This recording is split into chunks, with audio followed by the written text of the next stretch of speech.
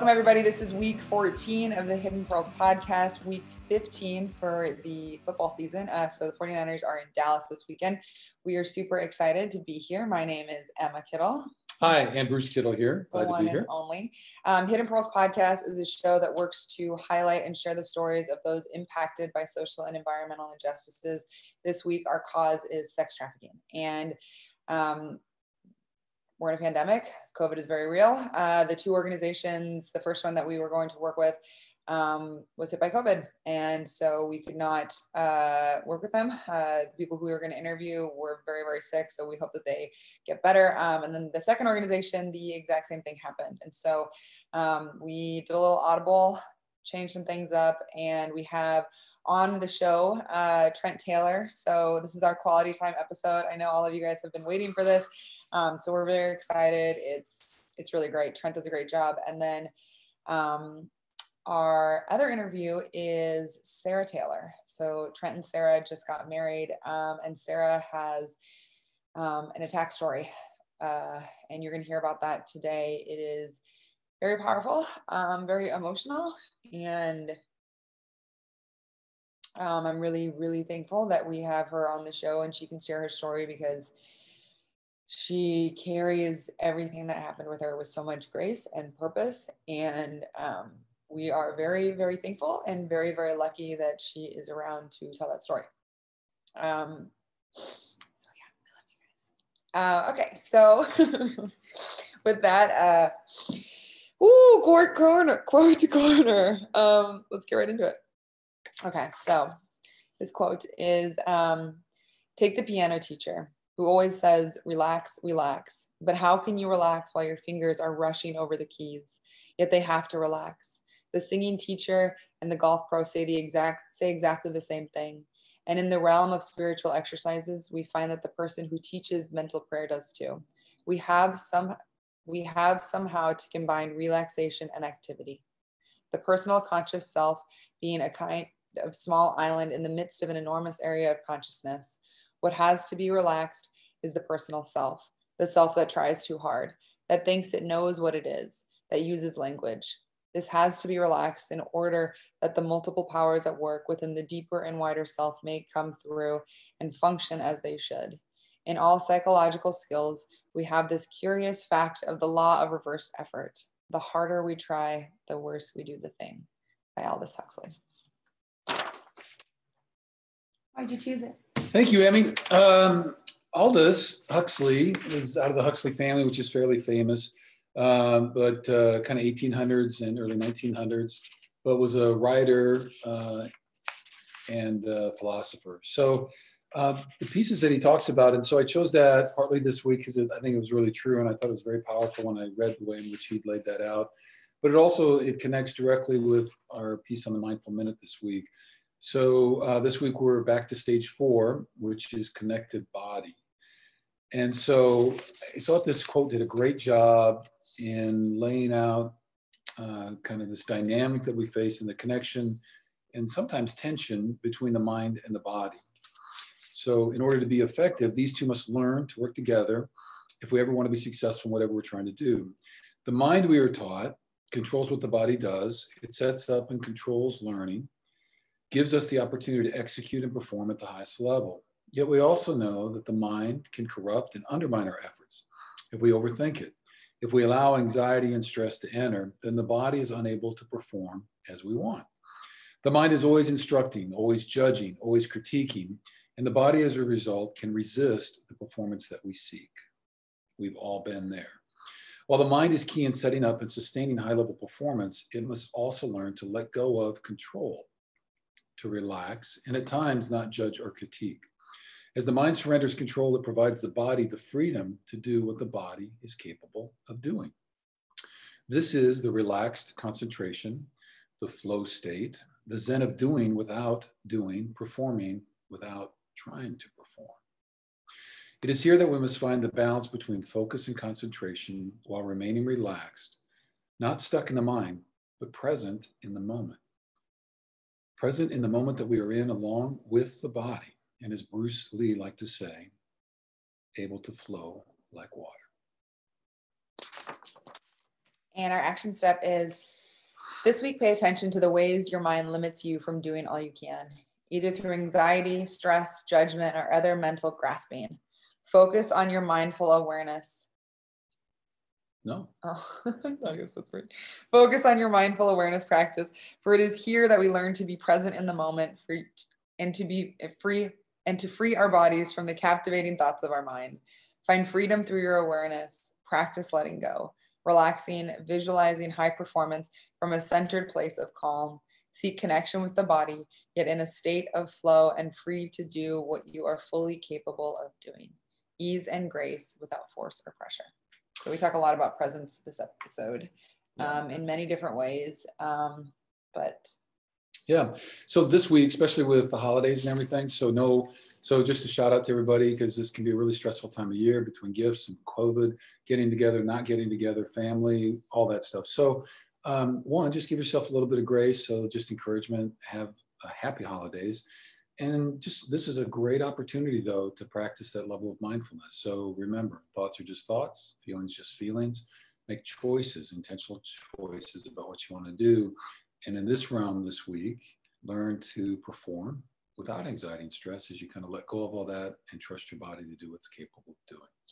And something else that has been coming up for me a lot lately is um, obviously I'm with my family and I know that is a massive blessing. Um, I thought you were going to say trigger. Stop it. it has in the past, but it's not anymore. Um, okay. Um, but it's a massive blessing. And I know that not everybody um, has that opportunity this year. And I think um, something that I was talking to a friend about is, um, and we've talked about this on the show, but not assigning so much meaning to what's going on because just because we're being safe and we're choosing to not physically be together, that doesn't mean it's not Christmas. That doesn't mean it's not the holidays. Last night we ate cheeseburgers around a fire pit and listened to Christmas music, and it was, I feel like the most festive we've been in a really long time, and it was great. And we were just together and laughing. And um, so, yeah, so I think when you have those triggers, or maybe you're feeling alone, um, see them for what they are and maybe journal about them. Take some time to actually reflect and see where those are coming from. Um, but don't assign so much meaning and thinking that this is how it is always going to be, or because you're alone that nobody wants to be with you or anything. Or there are just so many very heavy emotions floating around right now. And if you need to talk to anybody, um, there are a ton of fantastic organizations, fantastic resources out there. So please do not ever hesitate to reach out. Um, you can look through all of the shows that we've done. There's a ton on mental health and just like how to stay present, stay aware, and really check in with your body and your mind and your emotions and your spirit and everything and figure out what you need right now. And it's okay to need stuff. Okay. All right. So with that, everybody, let's roll. I know we've been waiting, but let's toss it over to quality time.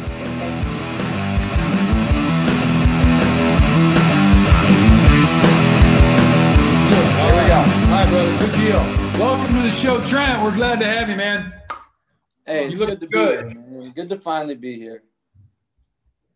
Okay. No, we've had to we've had to talk to your agent a couple times about getting you on the show. Oh my You've god, really hard. You've been in really high demand, Trent. Like it, I, we we had to go through multiple people. Your agent, your wife. We had to call your mom and your dad. I had to talk to Rooney. It's true. Tried, tried, tried to talk to Howie, but he tried. He kicked me out. Oh, wouldn't oh, even wouldn't even hear a word that I was saying. Your dad was kind of the real. He was tough. He, he was. Oh, was, I, I, believe it for sure. But it was Mickey, aka the best realtor in Nashville. Mickey makes the plays. She got yes. it done. She got it done. Yeah. So brought it together. shout out to Trent Nelson Taylor for coming on the Hidden Pearls podcast. All right, ready, guys? And three, three two, two, one. one. Action! Wait, Trent missed it. Let's do it again. All right, three, two, one. Action! Ooh. Is it on time? No. All right, ready? You do it. You do it. You do yeah, it. you give us a yeah, count. You, you do it when we say one. Yeah. clap. Ready, Emma? Three, two, one. There we go. There we go. All there. right. Yeah. Do you play an instrument at all? It looks like. I do not. I do not. It's called Rex Taylor was not the most musically talented person. You can see that rhythm and soul inside you right there, just rolling on. Okay. All right, everybody. So this week we are in Dallas, week 15 of the season, week 14 for our show. We are very Ooh. excited. Uh, this has been a long time coming. The fans have been asking for it. What? Who is that? My wife. And one other Quality time. No, our Quality we were asking time. about when you're gonna get on the show. So this week we have We're here, baby. Trent Taylor, Trent Mm. Nelson Taylor. So Trent and George have been friends since the 2017 draft and have provided all of us with some true quality time. That's true. And we are excited to have him on the show. So welcome, Trent. It's so good to be here. Let's Young get it started. Easy. AKA Young TZ. Woo! It was a little musical. Yeah, he can sing. That was good. Should we have a 49ers musical? Yeah, we'll get McGlinchey back. Is back. this in the future? Yeah, we'll get McGlinchey back for some Oh, karaoke. wow. Musical. Yeah, I 49er choir. love it. That's a sight to see. We should go caroling. Oh, well, we should. We can go door to door at the Oh, hotel. that'd be McGlinchey. Uh, we we get in trouble somehow with some type of rule. This is true. Who Hey, knows? we could do a Zoom choir though. You have five or six guys on. it's like less and No, we're in. We're in. You We're do gonna the whole gallery view and everybody's on at once. We could do a Zoom choir with the Niners. That would be beautiful for next week. Mm. But to get Okay. everyone's voices hitting the the mic at the same time from different locations is not easy. No, it's not. Fortunately, we have one of the best technicians in zoomology. Who is that? I just got headbutt in the face though, so You have no proof. I do. We were actually recording. Yeah, we were. This might be in the bloopers later. But it was during there was music being played, so you'll get kicked off if you play the music. Trent Nelson Taylor played college ball at Louisiana Tech, drafted by the Niners in the fifth round of the 2017 NFL draft. Fifth round, baby. Fifth round, Hey. baby. Listed at Fifth five rounder. pounds. Um, TZ, tell us about how you got to Louisiana Tech. Well, it was a strenuous process in high school of figuring out what college I wanted to go to uh, because Louisiana Tech was my one and only offer to college. So I decided to take that one. Pretty beastly. But uh, Pretty but I, did, I I, did, that. I was it, trying to go to Louisiana Tech though. Uh, my senior year, they were top twenty-five. Like had a really good offense. Um, yeah, they were known around the country for their offense, for their offensive production, and the coaches were great. Uh, so I knew it'd be a perfect fit for me. So they offered me in the summer, and I committed two weeks later, and that's that was my whole recruiting process right there. Did you get an official visit? That was my question too. Uh, I did, yes. Was it fun? Yes, we went to the one bar in Ruston, Louisiana, Ruston, and uh, had a good old time. you have to take me there one of these days. Was the visit before or after you committed? The visit was after I committed. Dude, same. That's crazy. Really, you did the same thing? Yeah, I committed to Iowa. Then a month and a half later, I was back in Iowa, and they were like, "Yeah, we'll do your official visit now." And it's on the night before a spring ball practice, so no one's going to want to do anything. And so I sat in my uh, my cousin's dormitory, and I played. Uh, I'm pretty sure we played NBA uh, NBA Street Volume Two for like three hours, and that was my recruiting. That was my official visit. But the saving grace was that I had an official visit to Iowa, and I had Ooh. for the both of us. I believe it. There we go, Emma. Did you get into bars underage? Uh, Oh, no, of course not. but when I was uh, Iowa City freshman, rocks. Iowa City, you could get in at 18, and then you left by 10 p.m. and I was Did you leave not 18 yet. I think I was 17. You were, and then I did, was a did you leave? Did you leave by 10 p.m.? of course. Not. It Okay. helps Of when you're course really you did. wear high heels. You're like six one out there in heels. Yeah, yeah, yeah. um, I always think back to those days because we would wear super high heeled. Like my, I don't have the same ankle strength as I used to. I can't wear those high heels. Um, okay, so in 2016, Back to uh, Trent. Taylor led the nation with 1,803 receiving yards on 136 receptions, along with 12 touchdowns. Had the record for career receptions at Louisiana Tech, 327. Do you still have that record? Yes, I do. Um, I believe I broke Troy Brown's record, Mm. and uh, no, my my uh, our offensive coordinator he always thought this guy coming in was going to break my record, uh, but he's not. He's not going to break my record. A guy there now? Yeah, What's his name? Oh. I'm gonna. I Look him can't up. say that. I'm, I'm not going to talk that much trash to him. Well, I mean, I'm he's gonna look baller, up though. his stat. No, He's I don't think anyone's back. close to breaking it right now. Well, the two sources I found with that number, they both made it sound like you had the record. You know what I mean? So, but they didn't say that it had been broken officially. So that's why I was wondering. So, to your Wait. knowledge, you're- you're still the record holder. Yeah, is it? Yeah, definitely. Okay. Did you ever want to get a bulldog after playing for the Bulldogs? No, because you hear about bulldogs just being there and how they can't last in the heat or anything like that. Um, like our mascot bulldog, like literally couldn't be on the field for longer than like ten or fifteen minutes. So it's like, Sounds pretty what's hot. what's cool about that? Like you can't even be out here with us. But Is that a reflection? we actually contact we had a conditioning? mascot die because he got loose and like I don't know exactly what happened, but he escaped his house he was staying at and was roaming around outside and no one could find him and he passed away just from heat exhaustion. One of your mascots? Yeah, bad stuff. What, what was his name? Do all the dogs have the same name, or do you have no idea? No, there is a name. Yeah, they all have the same name and then it's like the fifth, the sixth, the seventh. I forgot if they have a name for him or not. Well, I'm a terrible alum. Actually, I'm not even an alum. I didn't graduate, so What? You Woo! TZ. Left college early for that NFL money, baby. does your mom know Yeah. that? Great. yeah, she she always reminds me of it too. She makes sure of it. Wow. No, I I, didn't- I did. I made a promise though. I made a promise that when I'm done with football, I will go back and finish And what will you be getting a degree in? What was your studies? in finance. Oh, okay. Yep. Oh, And then you'll be a banker. is Yeah, I can't wait to be a banker one day. I'm definitely not going to be a banker. Oh, okay. hey, your bulldog's name is Tech. Tech. Yeah, that's right. Yeah, just simple. Tech. I thought it was like something first. cute for a second, but no, it's just tech. You seem so let down. It's a clever name because the name of the university is Tech. Louisiana Tech. Louisiana Oh. So, what was your favorite thing about Louisiana and then now about Tennessee? Because now I live in Tennessee. Hmm. Uh, my favorite thing about Louisiana, I would uh the food definitely. Uh, I'm a big fan of spicy food, Cajun food, uh, crawfish. I could eat like ten pounds of crawfish in one sitting. Um, and I like to eat it like to where it makes my nose start to run. How spicy it is. Uh, so I do miss that about Louisiana. Did they do the big table spreads where they mix it all up and throw it on Oh the big yeah, table? you get, you get the potatoes and the corn rolling with it. yeah. Oh, that stuff's phenomenal. The we got to do that. George and I have never done that before. I would love to do that.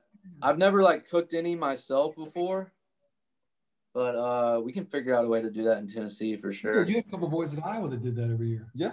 The two twins, Yeah, the Paulson twins. Paulson twins. Yeah, Have a, like a little crawfish cookout or something. They they shipped it in from Louisiana. Yeah, it was- overnighted it. it was legit. They did a good job. No job. way. The big boil thing. Yeah, they overnighted it. They Yeah. did like, I mean, it was delicious. It was I'm not. Yeah, that's, that's a good time. I will say my only thing I don't like about it is just it's a lot of work for not a lot of food. Yeah, that's what a, a bunch of people say, but I love it. You got to be dedicated to it for sure. yeah, definitely. But it's like an event, you know. You're not just like eating. It's like it's an eating event. Do I look like I'm at a crawfish boil? You look like you look like you came out of the swamp in Louisiana. And That is a Louisiana boy right there. oh, hey, let's go to Wrestling, Louisiana, baby. That's right. That's a scary look. Oh my you god. got some, Wow. ga- hey, you Okay, got some so- gators to wrestle. Then when did your family move to Tennessee? Uh, so I was born in Tennessee, and then I moved to Kentucky until I was like until I was in second grade, and then we moved to Louisiana. And so from second grade on, I grew up in Louisiana. And uh, so my brother went to college, and then the next year I went to college. And as soon as I went to college is when they moved back to Tennessee. Hmm. So they've been in Tennessee for like eight years now. Do you think Nashville has as good a food as Louisiana? Nashville has good food for sure. Um, they got good hot chicken, good barbecue places, at least barbecue tacos. I'm gonna go Great get them as soon as I get back. Really good Um, tequila there, Trent. really good what? Tequila. Really? Uh, there's good tequila everywhere, isn't there? That's why I love Nashville because there's tequila everywhere. That doesn't make any sense, but uh, no, Louisiana's food is better. Do you like oysters? Yes, big fan of oysters. How do you? Me- what's your favorite? Like when you eat your oyster, like if it comes on the tray, like you just slurp it right away, or do you like horseradish, red sauce? Uh, I do the red the red sauce and the uh, horseradish for sure. And you pre-mix it? Bruce is a big pre-mixer. He'll combine them, mix it up, have a little concoction, and then he'll spread it. Oh, professional. I became a big fan of using saltine crackers I too, love them. Because you just Yeah, I do that every on now and then. with the horseradish, with the red sauce, a little bit of lemon, you know, goes over the Yep, top. Yep, a little bit of Oh, yep, always, always. So, Bruce. Yeah, me and George have always been big oyster guys for sure. Yeah. We try them literally every time me and Trent have an opportunity to eat oysters. We've had some really, really good oysters, and we have some The terrible ones. ones. Remember that place we went to in Houston? Were you there for the preseason game? Do you remember? It was with Hicatini. And Uh, I think so. Yeah. Remember what Tyler McCloskey met us out there? Yes. and I was all got oysters, and they came out warm. Oh yeah, those are terrible. We like I ate two. I ordered two Yeah, dozen. that was so and was like disappointing. Forty bucks. I was like, oh, I'm so I haven't had oysters since uh, WrestleMania last year. I'm so excited. I put down. I ate first one. I was like, that just had to have been a bad one. Second one, warm Can't do one. and super slimy. I spit it out, Oh and we laid just. I think, yeah. I was like, I. Cole somehow. yeah, that's it's real depressing for sure. always all. It's like bad calamari too. Oh, bad. Love That's. Calamari seems to be a real like make or break type of food, type of appetizer. when you go to an Italian restaurant and they have good calamari, and I'm just like, I don't even care what my main dish tastes like because Right. that was fire. I'm ready to buy the whole menu. So, Bruce, uh, as our, I'm assuming you've eaten more oysters than all of us. Combined. I don't know, but I've tried. Where is, can we talk about your favorite oyster restaurant? Oh, What's your favorite oyster Yeah, place? Favorite oyster place. Yo. Were you going off on the oysters in Cabo?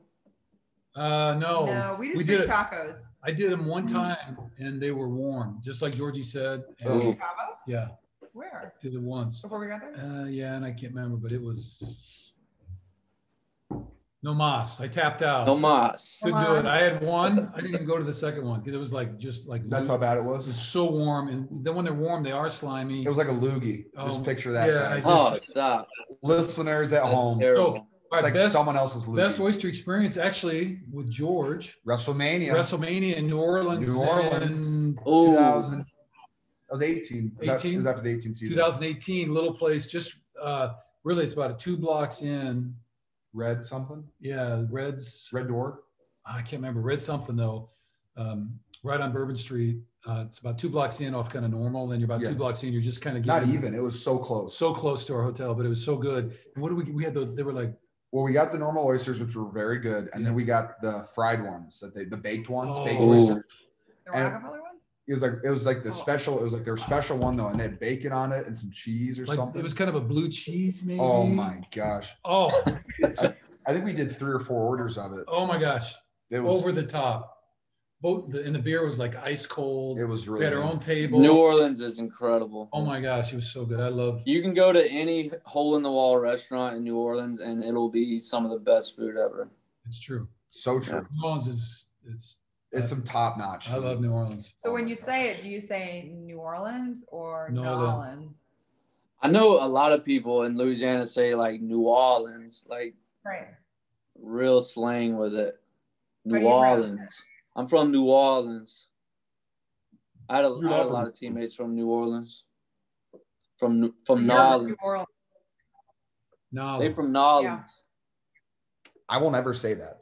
Okay, so let's uh let's get back to a little Yeah. bit of football. So Trent Taylor, uh, football everybody. in the family. So your dad, Greg, played linebacker at Western Kentucky University Coach. from 82 to 85.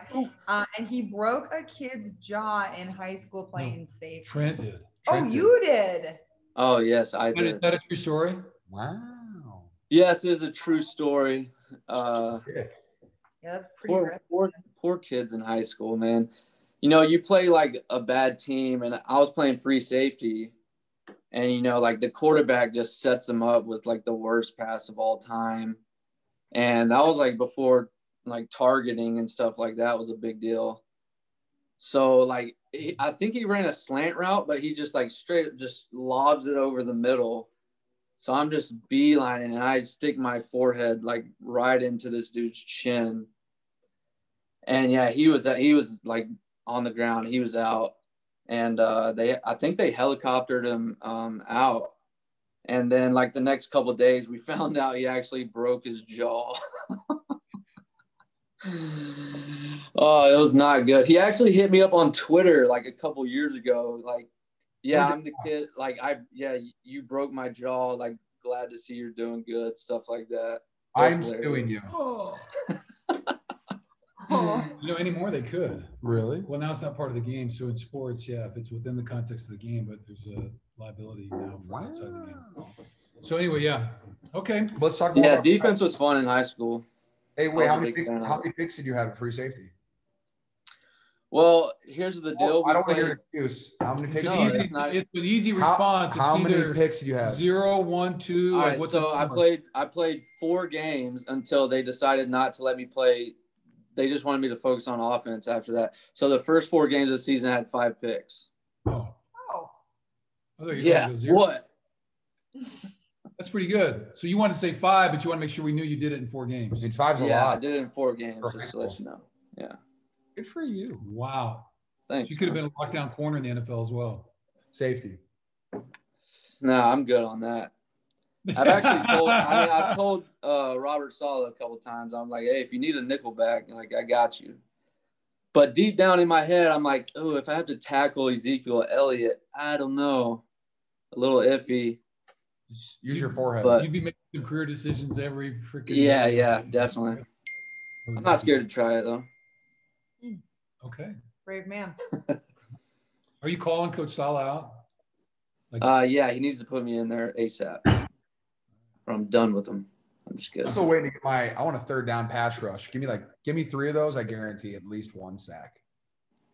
Guarantee. They do mention that to you every now and then. I wonder how serious. Hey, they- Coach, Coach, Coach Kocurek is like, hey, kiddo, you think you got a couple rushes in you this week?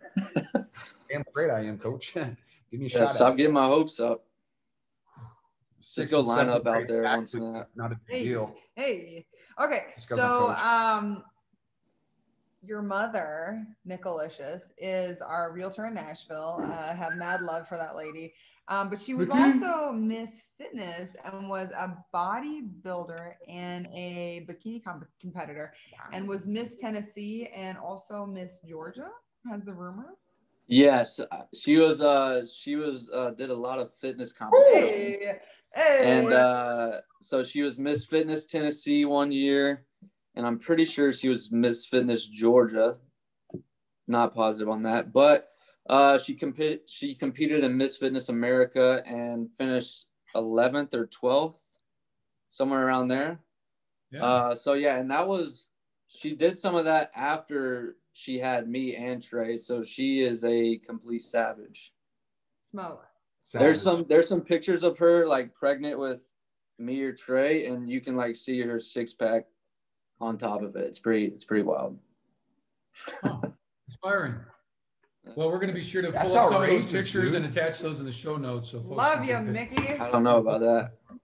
All right, and uh, last member of your family that we want to highlight is your fabulous wife, uh, Miss Mm. Sarah, uh, Sarah Chaffee, now Taylor. Mm. Um, how is uh, you got engaged in Tennessee? How'd you meet first? Let's just let's just take it all the way back. Give me a quick summary how you guys met, Yeah, let's talk about romance. real quick.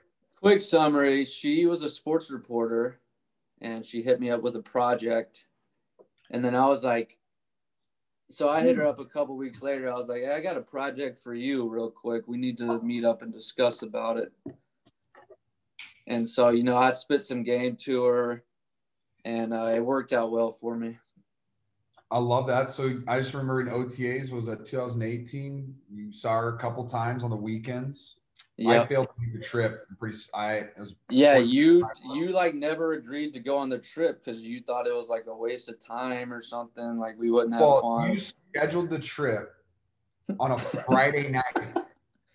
No, it was a Thursday night. Thursday night. Okay, so you bought a Friday morning trip, Thursday night at 3 a.m. And you're like, we're buying it, we're going, we're just gonna go. And I was like, like, I don't think I'm gonna. And then when are we getting back? Sunday night? And I was like, yeah, I can't. I'm okay. Like I'm just gonna. Guess who went with me? Hicatini. Hicatuna went right. and we had the you. best time ever too. I know. You guys called me a couple Crazy times. things you'll do for love, right? You know, I'm glad you did that. Mm. Well, you know, also with Sarah brought in um, two of your uh, your two kids. Uh, yes, I do have two kids now. Uh, two little boys uh, named Rooney and Howard. Mm. Two little fluff balls that we love to death. And I haven't seen them for like a month now, and I'm getting kind of sad. Dude, I know. I was I go a week without Dini and I don't know what to do.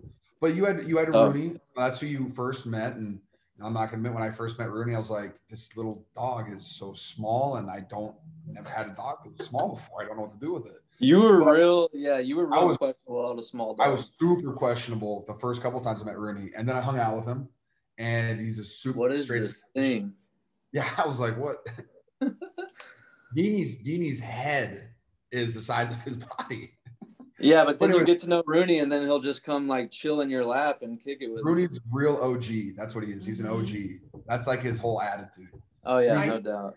He's, he's the man. We got to get some photos of you know Rooney and Howard up here, and Howard is a Oh, new member of your family. Yes, we adopted him like a month ago, maybe Two months something like ago. that. Uh, yeah, he's absolutely amazing. We had to we had to get him trained up. He's a little more wild than Rooney is. Uh, Sarah said when she got Rooney, like he was always just like the most perfect dog ever. Uh, but it, it's it's taken Howard some time, but uh, he's coming around. He's awesome. We Oh, love him. he's He's trying to still overcome some of that trauma. Yeah, he's he's Yeah. still not a huge fan of. Oh me, yeah, fun. Howard- I mean, just a good fact for everyone for, for everyone to know. He was thrown out of a car and hit by another car by his past owner. Uh, so this this foundation or whatever uh, got him, paid for all of his surgery and everything, and uh, he's moving fine. Has like a Yeah. metal plate in his hip. How many surgeries did he have? Any idea? I'm not. There's I'm not sure about that. It's tough. I to think I'm pretty sure he had a he had a Yeah. couple. You hear him? What? How What? do you get through airport security with him then?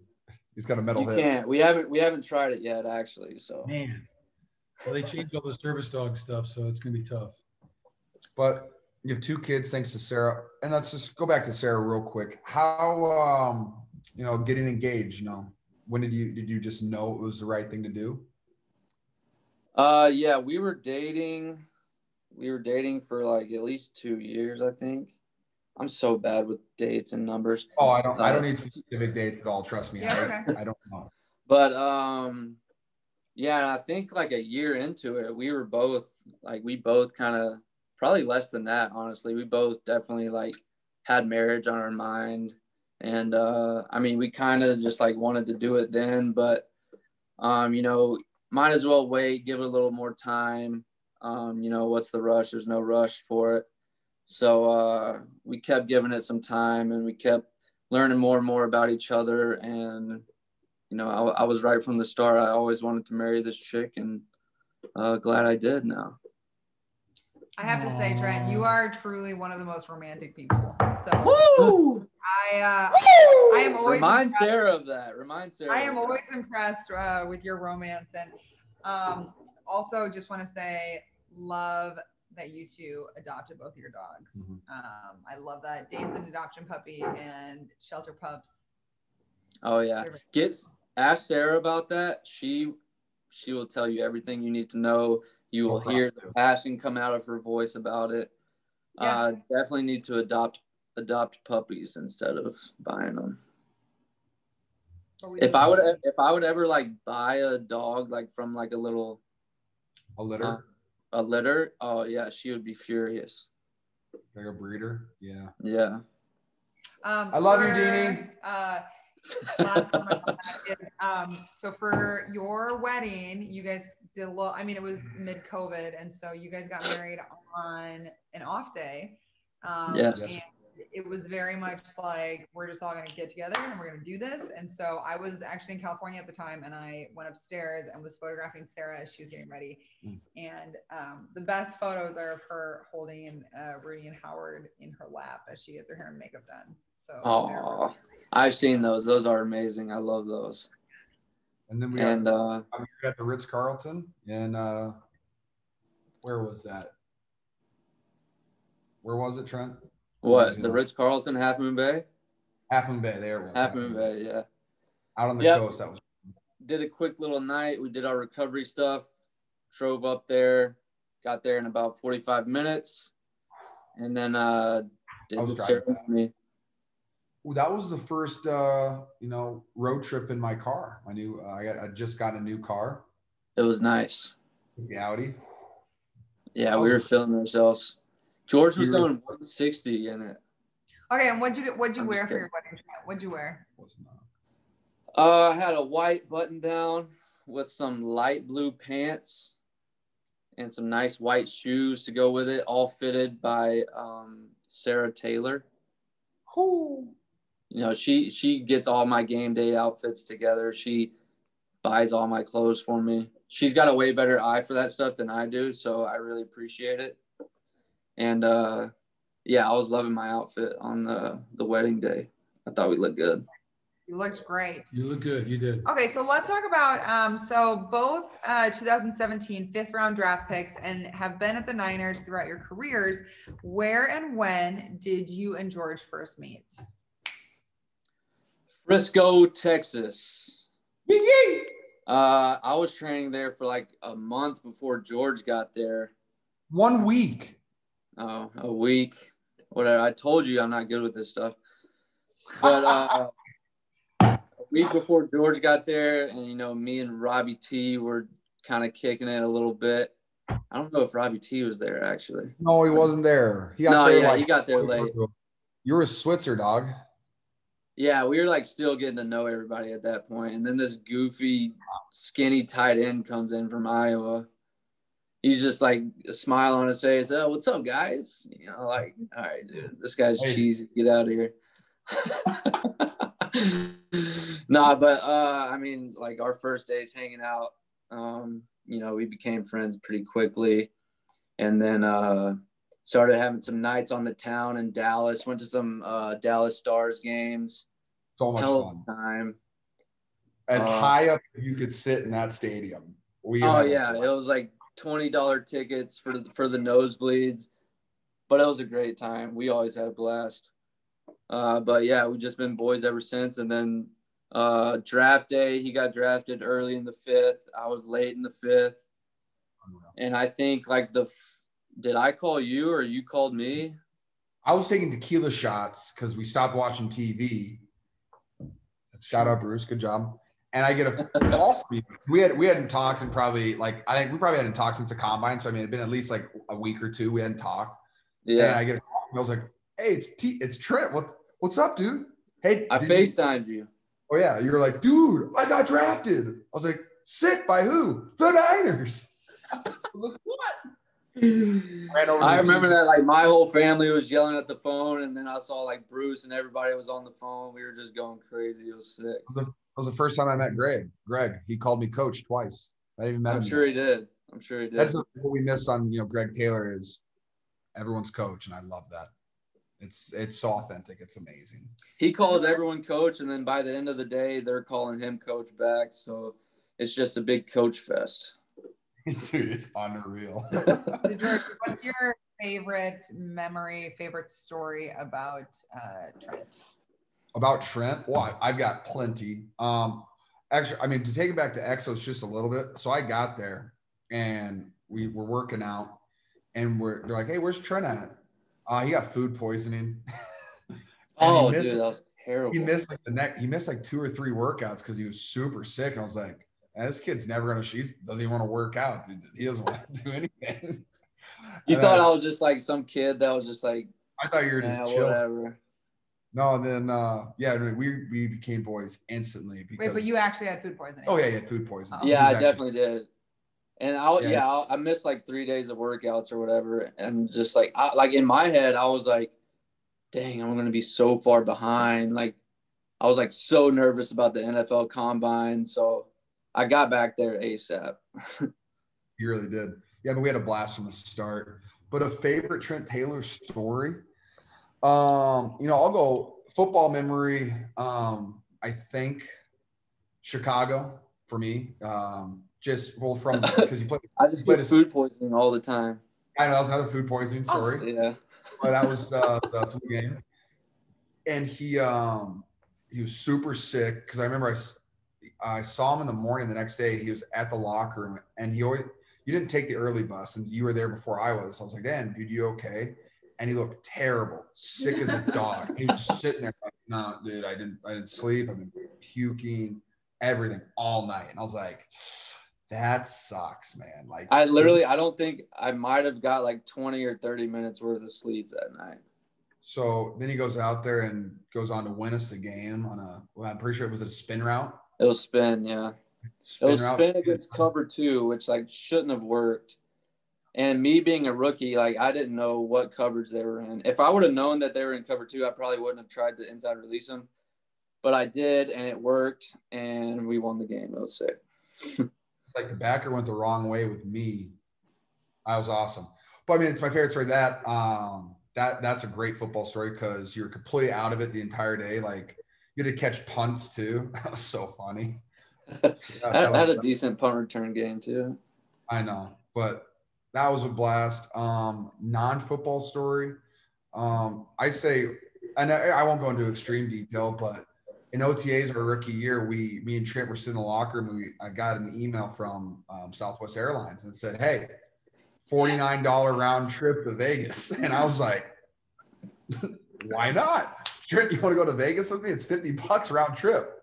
Yeah, sure, let's go. It was our rookie year OTAs. Like, we didn't have a clue what we were doing. No clue what was going on, but we were like, "Yeah, we had three days off." Like, because like the first couple weekends, we were super strict. Like, we can't do anything. Like, we have football yeah. locked and We got to study. OTAs aren't like that, everybody. They're really fun though. Um, yeah. So we decided to go to Vegas and we had zero connections. We knew nobody. Like going to going to Vegas with Richard Sherman. Yeah, he knows everybody. It's very easy. Um, we had my dad uh, booked us a hotel room at the Aria, and uh, we were like on like the top left corner of the play. Like it was, I mean, it was a blast. But we had zero connection anywhere. We just kind of I don't know how we really did it, but we just kind of got into everywhere we wanted to go. Yeah. We kind of snuck around and we had an absolute blast. And that oh, was like dude, the, we had a blast. Yeah, going to Vegas with Trent, just me and him, zero connections was an absolute. That was so much fun. Yeah, so we we always try to. Me and Trent, I will say, well, we have a we can make a lot of fun out of absolutely nothing. Like whether yeah, it's playing yeah. like Fortnite during OTAs for eight hours a day, or you know, yeah, going out and playing football. Like we were we were in the weight room doing our lower body lift the other day, and and Shay was like, like we were just in there acting a fool, and Shay was like, "Y'all have a good time training in the off season, don't you?" like, uh, yeah, for sure. Yeah, yeah, we have. Uh, yeah. We have an. Uh, yeah. Yeah, we have a lot of fun. Um, well, Trent, do you have a favorite George story you want to share? when you said that, like the Vegas story definitely popped up in my head. So much fun. Uh, trying to think. You came to Iowa City for my uh, engagement party. Oh, that was that was a great time. Experiencing the the legendary Iowa City. Um, I think just a great story is like him being my only guest on my wedding day. Um, so we're like, I'm like practicing my, my vows in the car as we're driving there. And so I'm like nervous about it. You know, I'm reading like the most emotional letter I've ever written in my life. And uh I mean George was just like perfect through it, honestly. Uh, you know, he eased the tension for me, made me feel a little more comfortable. It sounds so weird. Mark that nah, up. But, nah.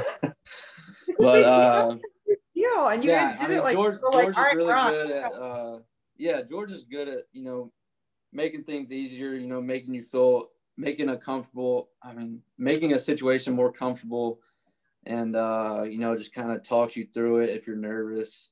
Um, you know, kind of same thing he does like game day football stuff. You know, he's always there helping me out. Uh, so yeah, it was good. It was good having him there for for the wedding day, and then afterwards we just drank a bunch of wine, had some great some great dinner, some great conversation. Um, we I think we went around and had a cheers like two or three times. Um, yeah, it was it was a good time. And an exclamation point on your wedding day was also Big Bob Tonyan. Robbie T scored three Woo! touchdowns Monday night, Great day. Monday night Great football. day. He did. It was a hell of a day. So yeah, we were all like in our outfits still. Uh, I think we FaceTimed Rob. After the game, we did, yeah. Yeah, it was sick. We because Claire got mad at me because I had the game up live At the wedding dinner. yeah, at, at dinner, and I was like, "What do you want me to do? Rob scored two touchdowns. He's gonna score another." They're in the red zone, babe. I have to watch. Hey, Speaking of Rob, you can't get mad at me. Whoa, time, ref. This bad boy just came in. Hey, Let's go. friend of the show, family member, Rob Tonyan, everybody. He's big time. He was on Good Morning Football this morning. Yeah, our photo was on there. All I know that was hilarious. Man, that was see, that was another good night. I mean, like you couldn't even talk enough about Nashville. Like we, like I said, Oh, we yeah. have fun regardless of the situation. It's a blast. All right, fellas, Trent, talking about other players just a little bit. Who's one of your other favorite sports characters and why? Any sport, if it's football, it's okay, but who's a, maybe a player you admire or somebody you really admired growing up or you think is uh, top notch? Mm. Hard hitting questions. Mm. Over Hmm. Football. I don't. I mean, I feel like it's such an easy one to say Kobe Bryant, but um, I mean that's just the guy that always comes to my mind, honestly. Uh, just like the stuff you see with his mindset, the way that he approached the game, um, that's something that I have just like the utmost respect for.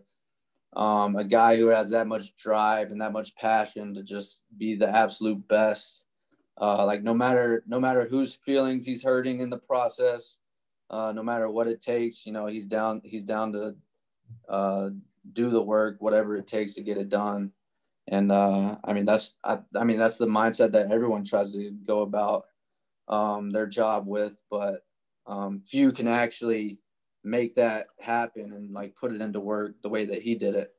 Uh, so that's something i've always admired and something that i try to do. Well, and that kind of leads into that next question was just like amongst people who are great players, and you probably know more in football personally, but like, what are some common traits or characteristics of players who you think, you know, that perform at the top level week in and week out? Like, what are the things that make them great from what you see? it's a good question Well, I'll give you one, Dad. I don't know if I've mentioned this one. I'd say consistency is one that I'm a huge fan of. So, um, you know, guys that show up every single day, the exact same. Um, I mean, example on our team, like Fred Warner, same energy every single day. Oh yeah, it's really impressive, The, honestly. sec- the second warm up ends, he's the first guy sprinting from the warm up lines to the center of the field to break down. He's yelling, he's getting everybody fired up. He's the loudest guy on the field when the defense is on there. You can never, the only way you don't hear him is if like you're not there. And so it's just, it's when you have guys like that are the same guy every single day that guys can look up to, that guys like, oh, I have to match that intensity. I think that that is a solid step in becoming a great player. Yeah, Yeah, I think another thing is just like guys who don't get too high on the highs or too low on the lows. Um, they just show up and they're the same person uh, every single day, no matter what. Like our situation right now, like it'll be tough for us to make it into the playoffs. So, like, does that mean you you change the way you work throughout the week or not? Like that's that's where that consistency comes in, and uh, like people who are great don't need that extra motivation to get something done you know they have that motivation within them and it they keep it within them like no matter what the situation is i think that's the biggest difference Well, I mean, things that you control in the game, right, are effort, energy, attitude, right? Those are all things that when you step from your car or from the locker room, whatever, you put your feet on the field, that's all stuff that you can control. And if you can learn Yep. to do that no matter what and bring it the same way, because the other stuff you can't control, right? I mean, you do your Right. best The record is the record. Injuries are injuries. COVID's COVID. I mean, you know, it just is what it is. And so, well, then let's let's talk a little bit of this. It kind of spins in that because we're kind of getting that mental stuff. So when you were in high school, you know, just tell us about the evolution of your kind of mental prep game. I mean, how intentional were you about it in high school, and then what happened at Louisiana Tech? You know, when did you start kind of turning it on, and how have you grown as a player as far as your mental preparation in the in the league now? Uh, I think I've grown a lot uh, when it comes to that aspect of my game, my mental game. Um, having a sports psychologist as a wife, um, that makes it a little bit easier. Uh, but that's that's been phenomenal to have. But in high school in college too, I honestly like I didn't really think too much about it. Like I was never like throughout the week like, all right, what do I need to do for my mental game? Like I never thought stuff like that. But I think just like the way my dad always taught me growing up, like he like nonstop, he's always talking about like you got to see it before it happens. You got to be able to you got you got to be able to see yourself making the big play before it happens. And uh, so I think I just like did that subconsciously without really thinking too much about it. And uh, I think like as a kid, you know, you're like running around in the playground recess or whatever, and you're doing like last second shot with the basketball or like last second touchdown pass, stuff like that. I think like I think that helped me a lot, honestly. Like some people might think that's funny or whatever, but I think like doing stuff like that all growing up, like that's all I did. Like my friends would come over and uh like we would just like put ourselves in like tough situations like that, see who could make the big play um, I think that kind of stuff like went a went a long way for me and just kind of gave me the mindset that I had all throughout high school and college and making it to the NFL. Well, now as an NFL guy, do you have a specific mental prep? I mean, do you have affirmations? Do you do visualization on a regular basis, or like what's your game day? I do visualization stuff. Um, like talking with Sarah a bunch. That's that's kind of what I've uh, come to what I like to do. Um, you know, like I said, it was something that I did like subconsciously all growing up, but now that I'm like more aware of it and more like persistent on doing that, I think that's helped me a little bit. And um, like Sarah will take me through a whole exercise of like I'll write on paper, um, like the grass, like everything about game day, you know, the fans in the crowd, what the grass feels like, what my pads feel like on my body, you know, different sounds I'm hearing from different people. And she'll actually like make like a 10, 15 minute video um, of her like talking and like taking me through those situations of like being on the field and uh, running routes against my D against the DBs uh, and stuff like that. And I, I've enjoyed that a lot. Yeah, guided meditations because your mind doesn't know the difference between the guided meditations and the real life. I mean, exactly. the same way, and so you can recreate those events. And so then when you are actually in the event later, you've already kind of been there mentally, and so it's right. And you're able to perform at a higher level. So yeah, I believe in that 100. Yeah, very cool. Okay, uh, well, I want to ask a question on that. So uh, as um, so if you don't know Sarah, um, she loves to read, like loves to read. She always has yeah. ever since she's been in Arizona. Um, we've we've spent some time with your girl. Uh, but she's had a book with her, like literally everywhere she goes. Do you read as much as Sarah does, or are you more an audiobook person? I do not. I'm more of a definitely more of an audiobook person, but I'm reading a book right now that I've been working on for the past five or six months, unfortunately. but uh, yeah, I, I definitely want to get to reading more often. That's something that I'm trying to do. What's the book? What's the book? Uh, the Nike book. Oh, Shoe Dog. What is it called? Is that like Shoe Dog or something like that? Shoe Dog. Yeah, that's what it's called. Yeah. Uh, like how Nike was created. Trent, like your shoe dog book is sitting in my Airbnb. It's right over there. I was gonna say, I literally saw that book today. Yeah, it's by the pool table. It's just right over here. I might have left it. You're crushing it, dog. You're wait, crushing it. Wait, wait. This is the, hey, this is a perfect transition into one of my favorite memories about Trent. Oh, This- here we go. dude i can't not like it's it's totally at fine at this point but when we lived together because thank me and trent got to live together uh, my first our first year in the nfl as rookies it was me and claire we were dating trent and then jp flynn who was an offensive lineman we lived together the whole rookie year and what one of the things i realized about trent is that this dude forgets everything it is insane and like it just like I thought it was a joke at first. Like I'm not even lying. Like I noticed a little bit when we were training together at Exos, and I was like, nah, it's nothing. We lived together, and I was like, all right, yeah, like this dude forgets his Okay, this dude has a serious problem. It's a serious issue. And let's just fast forward to I think this was last year. Like you and Sarah came over, and when you guys left, you guys were walking. You walked your apartment. It was like a five minute walk back to your apartment on the other side of the complex.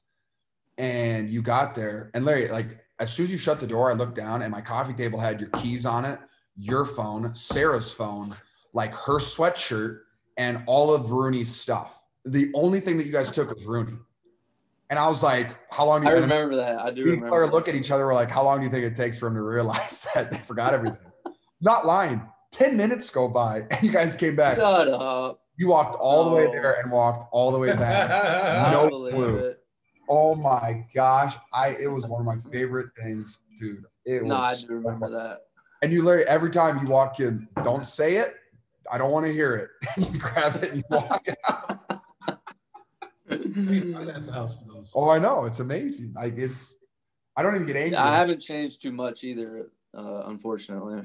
No, No. but now you just live above George. you live right, you're two Yeah, it's a lot Where easier you're to above come George, back. so it's And, okay. Now, when you forget something, you just throw a bag out over the ledge, and I put it in the bag, and you pull the rope back up. yes. Like he does for DoorDash. I have to say, one time I was working out on George's patio, and all of a sudden a bag came lowering down, and I was like, "What?" and I looked Look over, alive out and you're there. like, "Oh, hey, I'm up." Hey, what's up? I know up? Trent, you're great too because you just lean over and go, "Yo, yo, dude, up here, Get back. DoorDash, Hey, yeah, over here. yeah, right here, yeah, come on over." He's lower the bag down. Those people are so confused every time. I know, but like, it's ingenious. Like, you don't have to leave your apartment, Oh yeah, it's put in the bag, and you Less pull it out. COVID contact. It's really safer. Um, yeah, okay. it's like more lazy, but then you make the COVID excuse and it makes sense. They're like, okay, we'll do it. Well, so let's uh let's dive right into the fashion preview. So one of our favorite segments is our fashion. Um, so Trent, let's talk a little bit about your game day swag. Obviously, Sarah has had an influence on it, but talk us through what a typical game day is like for you. You wear a lot of Nike. Uh, Nike guy for sure. Were with Adidas, now you're with Nike. Yes. Talk about game day swag and what that transition was like for you. Uh, I love Nike shoes a lot better than Adidas, and Same. uh, um, yeah, I remember like being with Adidas my rookie year and and uh, my second year, and there were so many like six shoes that I wanted to wear, like Nike, different stuff like that, that I couldn't wear. So I'm glad I'm finally able to wear like Jordans and all the sick Nike shoes that are out. Um, but yeah, Sarah literally has bought every outfit that I've worn this year. It's been um, recently bought by Sarah and put together like on game days, either like night before or whatever. Like, all right, babe, let's pick out the outfit, and she'll go in there and she'll be mixing and matching a bunch of stuff until we find the perfect one. And that's my game day outfit every week. So, Are you a suit and tie guy, or just a sport jacket, or are you more of a t-shirt? Slack? no, definitely like a like a jacket, like some type of like bomber or whatever, or like uh, with a hoodie underneath. I'm a big hoodie guy. Oh. I like You're hoodies a I would lot. say you're like street fashion. Like you're very you Yeah. like your s- streetwear is on point. I like Do it. you think slot receivers is kind of a species, are just more likely to be hoodie guys or non-hoodie guys? Just asking. I think we would be more likely to be hoodie guys. That's, Yeah. Yeah, by position. It's kind of like that type of swag, you know, you got to bring to the slot position. I see. Well, Trent, if you have any shoes that you want to show us that you brought to Arizona, I would love to see them. Otherwise, GK, let's see what you have, my man. All right, ladies. Oh, no. Oh, no. Bringing out, um, it's actually my favorite style of shoe, but not the Jordan ones. Um, they're the Blazers, specifically the off-white Blazers. Blazers are dope. I'm a huge fan of these bad boys. They are beautiful. The all Are those like see through? no, they're just white. Oh. They kind of look like I know what you mean. Trent. It's like they have a layer of like Yeah. it's almost like the reflective, like glow in the dark type. Yeah, I'm a huge fan of these. I went those with are sick. I went with the lime green laces, the neon green laces. Sorry, um, little Joker vibes.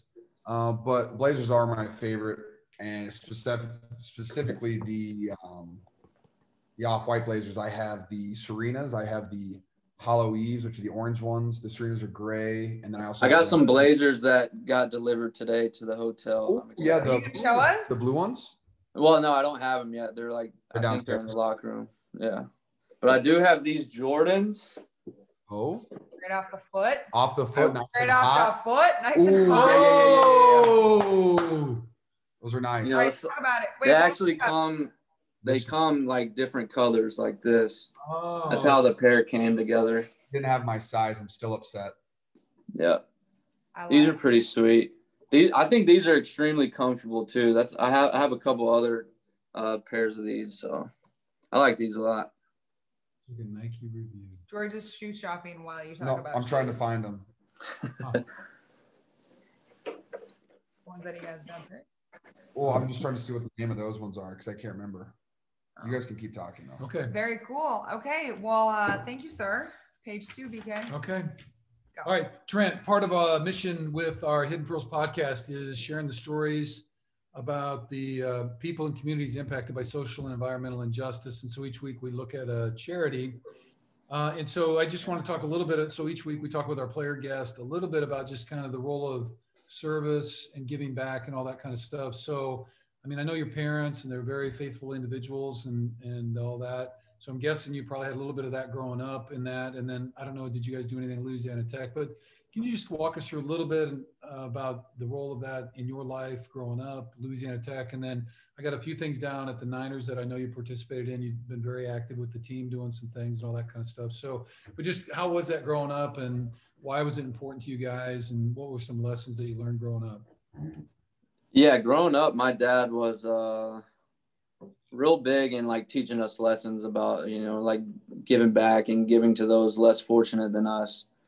And um, you know, like growing up, I always saw my dad. He would pick up he would pick up some homeless people, drive them to where they need to be. Um, you know, anytime we saw a homeless guy, my dad would pull over and uh, bring some food to him. You know, sometimes sometimes bring him into the car, take him to a drive-through, and my dad would just kind of talk to him, you know, help him through, you know, whatever situation that, you know, whatever kind of talk that they needed at that point. Um, so my dad was extremely uh, well with that stuff because, you know, like these days I see a homeless man, I'm kind of like, you know, it's a little nerve wracking thinking like, should I talk to this guy? Like, is he taking advantage of me or what? But um, I think regardless, my dad was really good at just showing those people love. Um, you know, no matter what they look like, no matter like how they approached them, you know, I, I feel like I've seen I've seen some homeless people like come at my dad with some like, you know, an angry tone. And my dad always found a way to like, you know, ease the situation and, you know, talk to them with love, uh, whether they deserved it or not. And um, we also had a lot of Thanksgiving where we would um, take meals to less fortunate people. Um, Christmas, we would do stuff like that. Um, and I, I think that stuff is really important, something that I'm definitely going to do with my children and my family. All right. Well, and then at the Niners, let's see, I know you worked uh, 218 and they always do a thing with Martha's Kitchen. You guys help serve meals and do all those kind of things. And then in 218 and two, you've done the My Cleats, My Cause stuff. And so who, I know you, were telling me this, you did the Tebow Foundation this year. Is that Yep. right? Yep, Okay. did the Tim Tebow Foundation this year, and um, the year before that, I was uh, did End Slavery Tennessee, which um, is another another organization that deals with sex sex and human trafficking. What should I call it? Like human trafficking or Well, sex me- trafficking or I put a couple things together for that. So, and, and so actually, um, this week our charity focus is actually your charity from Tennessee. So the End Slavery which is a uh, human trafficking. So I've got a couple things on that. Maybe I'll just do that. And then I know you've got a bit of a personal story on that. And so let me kind of give some background here. And then right. you can tell us a little bit about that. So um, End Slavery of Tennessee, thank you, Amy. Uh, they provide specialized case management and comprehensive aftercare for human trafficking survivors and tactically addresses the problem through advocacy, prevention, and training of frontline professionals. So um, their mission End Slavery Tennessee is to promote healing of human trafficking survivors and strategically confront slavery in Tennessee by engaging and educating the public so they understand the issues and the impact on victims in our community, and then to empower the public connect to connect with involved organizations as they take action to end slavery. So I know when we were getting into this, because you we've all been talking about this for a while because we wanted to have you on the show and talk about this. So what exactly is human trafficking? So I had to kind of look it up. So just to clarify, United Nations defines human trafficking as the recruitment, transportation, transfer, harboring, or receipt of persons by improper means, such as force, abduction, fraud, or coercion for an improper purpose, including forced labor or sexual exploitation. And it takes many forms. And so the stuff on the end slavery website includes forced domestic servitude, which is really a big one. People bring in, you know, non-English speaking or whatever country and tell them they have to stay or they're going to get deported and they don't get any money and they're really in servitude. There's forced labor, where people kind of the same thing, and then the sex trafficking, uh, millions of folks stuck in the commercial trade of sex, and the debt bonded forced labor, where people go into debt, and in certain countries, it's legal for people then to be in bondage and they have to work off without making any payment until that. And there's millions, and that's the largest form of human trafficking in the world. Then child labor, uh, not being paid and forced into labor. And then forced marriages is another huge category. So particularly women sent out of the countries for money to people that they had no idea about and no consent. So those are kind of the forms of it. So how many people? Right now, at a minimum, they estimate 21 million people and other estimates, including some of the other categories, up to 45 million people globally are caught into some kind of human trafficking uh, event. So anyway, so with that, that's kind of a backdrop to that. So that's the stuff that End Slavery works on, and there's some other organizations as well around.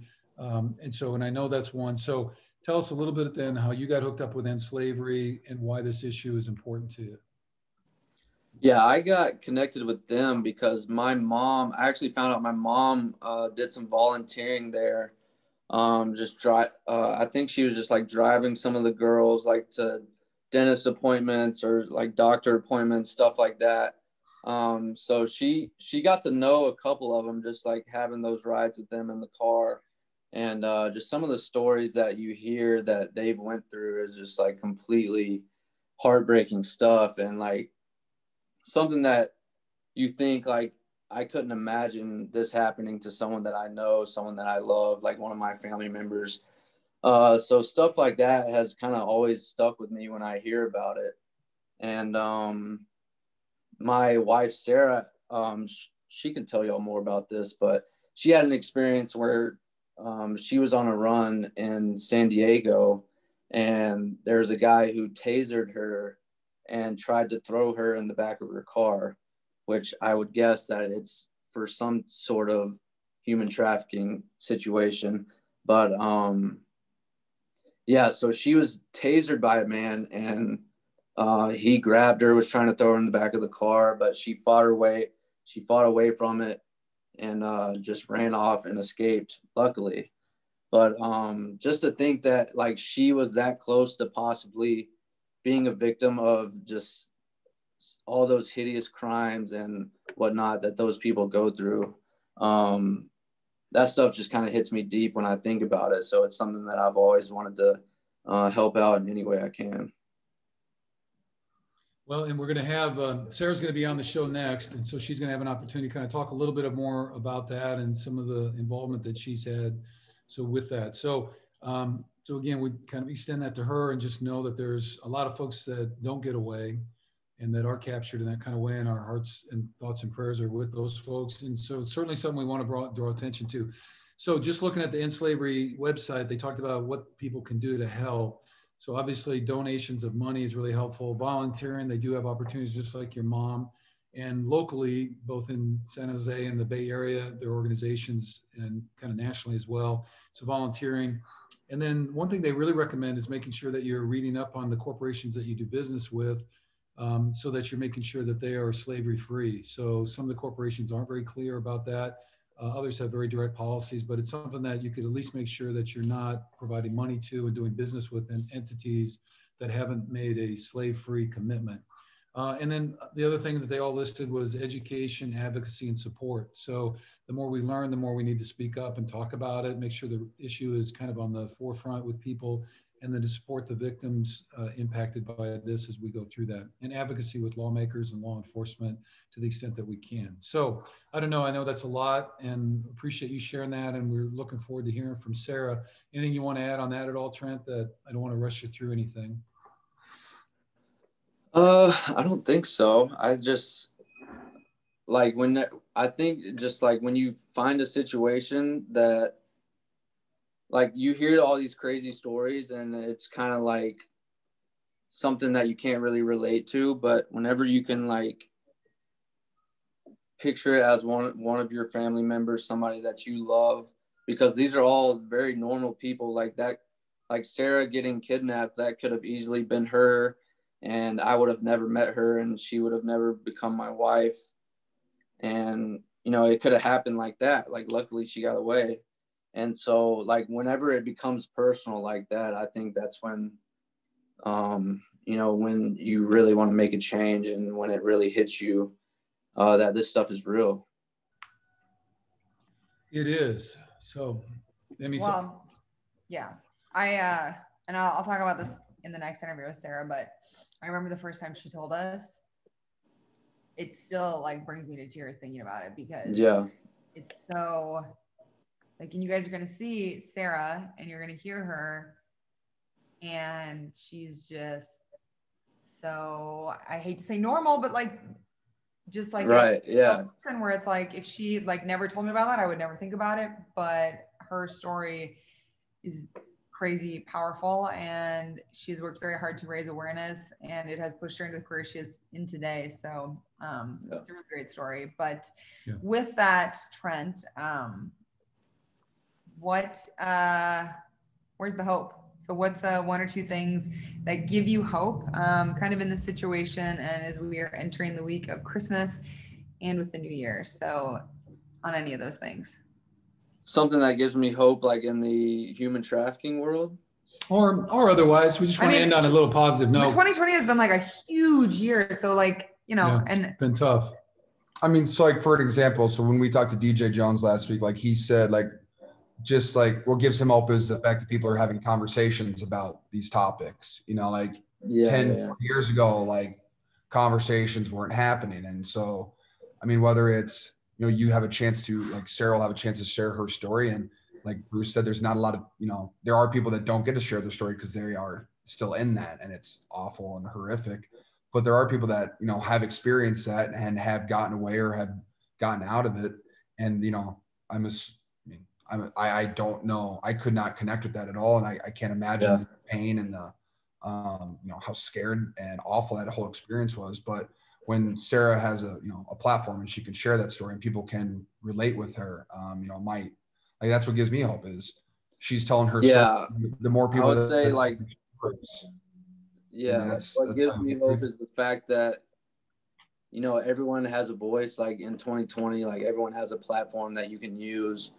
and uh you know what gives me hope is the fact that there are organizations everywhere that help try to fight this problem and, you know, there's plenty of organizations that are probably in any city that you live in that there's, you know, there's something that you can donate to.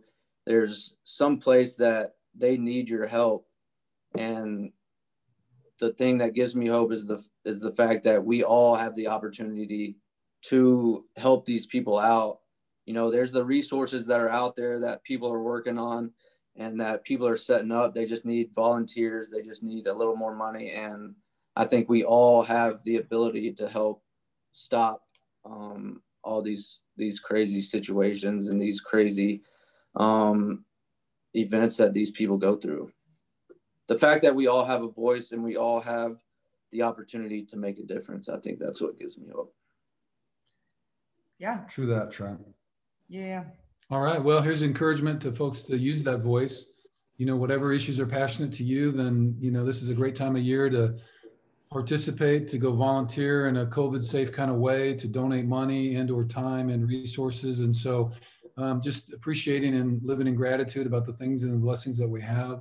Um, and knowing that there are people in all kinds of situations that are struggling. And this year, particularly because so many people out of work because of COVID and yeah. housing situations and all that kind of stuff. So anyway, great time to, um, you know, share what you have in the way that you can in the areas that you're at. So well, uh, I feel like because your wife is about to be on, um, as we wrap up, you want to give a little uh, toss over to Sarah? Ooh, like an intro. I'm gonna give my intro. Yeah, yeah, yeah, yeah, yeah, yeah, yeah, yeah. And here we are, the five foot six. No. That's funny. Um, yes, everyone. My wife is coming on, and she is the most incredible person that I know and I know that she's going to be completely open and vulnerable with everyone about uh, what she's gone through and her experience with this. And uh, I just love her with all my heart, and I can't wait to listen to it myself. Hopefully, it won't bring me to tears uh, the hundredth time. Okay, man. But it, it'll be a great story for everyone to hear, and something that we can all just learn from and grow from. It will be. All right. Trent, we thank you so much for being on Hidden Pearls. We appreciate you very much. You've been a great friend of the family, as are your mom and dad.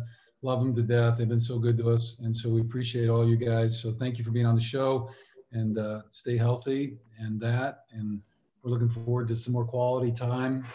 Hopefully in more quantity. Yeah. Sooner than later. Yeah, definitely.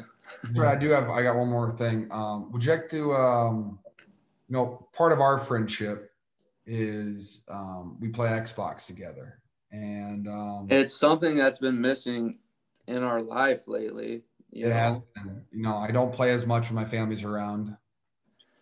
It's so true.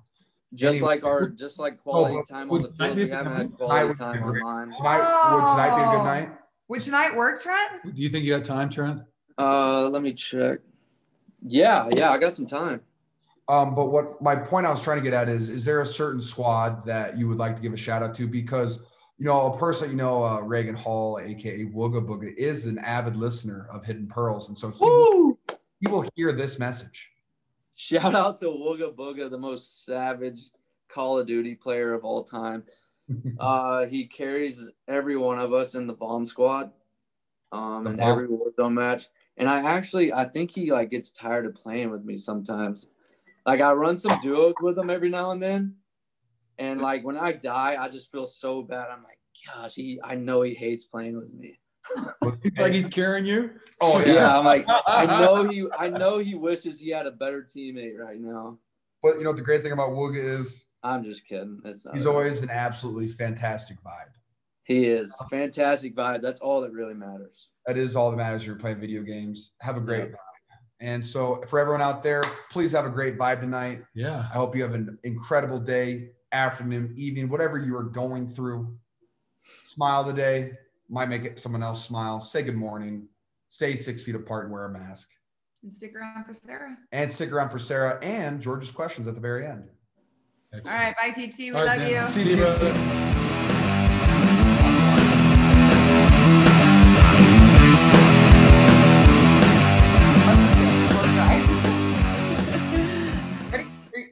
one, action. All right. All right, welcome everybody. So we are super excited to welcome my good friend, our family friend, Sarah Taylor, wife of Trent Taylor, um, who you guys just met. Uh, Sarah is on to share her story of an attempted abduction she experienced. So we are so grateful to have you here and to get to know you a little better, Sarah. So welcome to the Hidden Pearls podcast. Thank so excited to be joining you both. I love you, you both dearly, and your family dearly. So this is exciting we have been on quite the ride together with the Niner family. So uh, we have that. We have. Goodness. Um, okay, so a little background on Sarah. Uh, Sarah is a mental performance coach who guides performers to be becoming their best through sports psychology and mental skills training. Sarah received her master's in science in sport and exercise psychology. She currently works with professional athletes, helping them train their mind. A former sports reporter, Sarah has spent her entire career learning from elite athletes. She is passionate about helping others explore their best psych- psychological well-being. Sarah is recently married to Trent Taylor, runs marathons, and is very, very passionate about caring for and rescuing animals in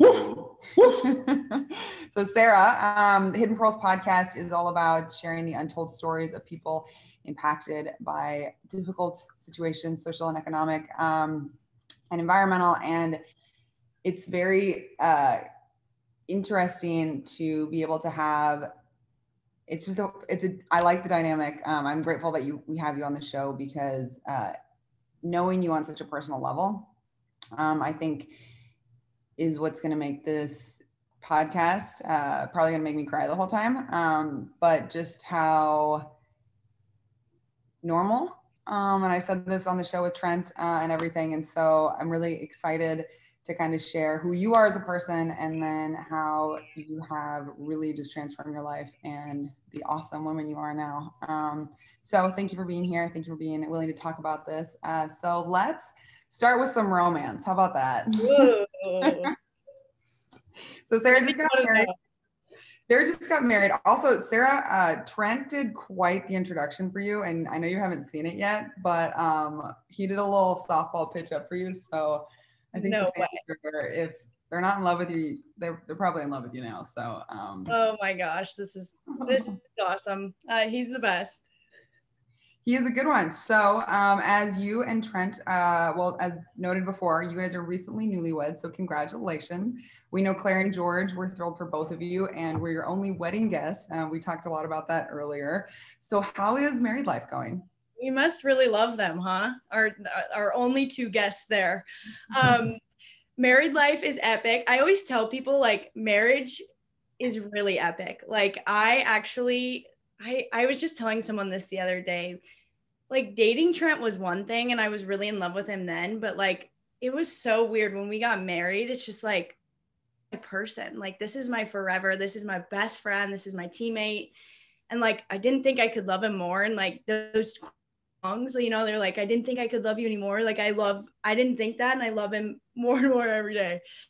Like i mean sometimes he drives me crazy when he like leaves his clothes on the ground but i i still couldn't love him anymore. So marriage is epic.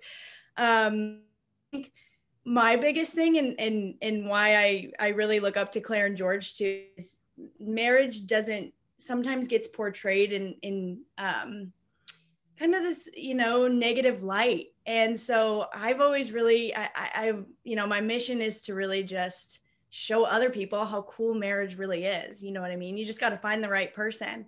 And it's so funny i'm out here in dallas working doing some business and i was working with um, you know one of the professional golfers i work with and he was saying you know my mom always said marriage um, it's the only person in your whole life that you get to pick so I thought that was so cool, and I'm I'm so happy I I picked Trent, and I'm happy that he picked me. We we have fun together. You guys do have fun together. You guys are hilarious together. She's pretty gushy. So was he though. So it was pretty cute. Oh well. I don't mind being gushy. I I, I love Yeah. him. It's great. We love you guys too. Okay, so sports psych. So obviously a huge part of Thunderbird performance and what created the Hidden Pearls podcast is mental performance and mental training. And so even as uh, Bruce and I were kind of chewing on and like like before you have a business or before you have this big idea that kind of comes to, to fruition, um, I was picking your brain about different things and how pieces go together. And I was like, Sarah, I have this idea and it's really big. Like, how do I bring it in? And it's been really fun to have a friend like you who is in the same like mental training world and who has her master's in it, um, who is very, very qualified. Um, so Trent spoke with us on how much you have helped him um, and how valuable he has found some of the things that you have taught him. Um, so where and when did you get your degree and what drew you into sports psychology? So I got my degree um, actually recently. It was in um, I, I- finished um, my program in in May of 2020. Um, so fairly recent, and, and I went to California State University, Long Beach, and um, yeah, it was a it was a master's in kinesiology and sport and exercise psychology, and and along with that, learning about motor skills and and everything that goes into that. Um, I'm really grateful for the work because you know I feel like sometimes like I, I, was just thinking this the other day. Gosh, when I wake up early, you know, it's a grind and, and, like anything. And I wake up, er, you know, really, really early and have these long days.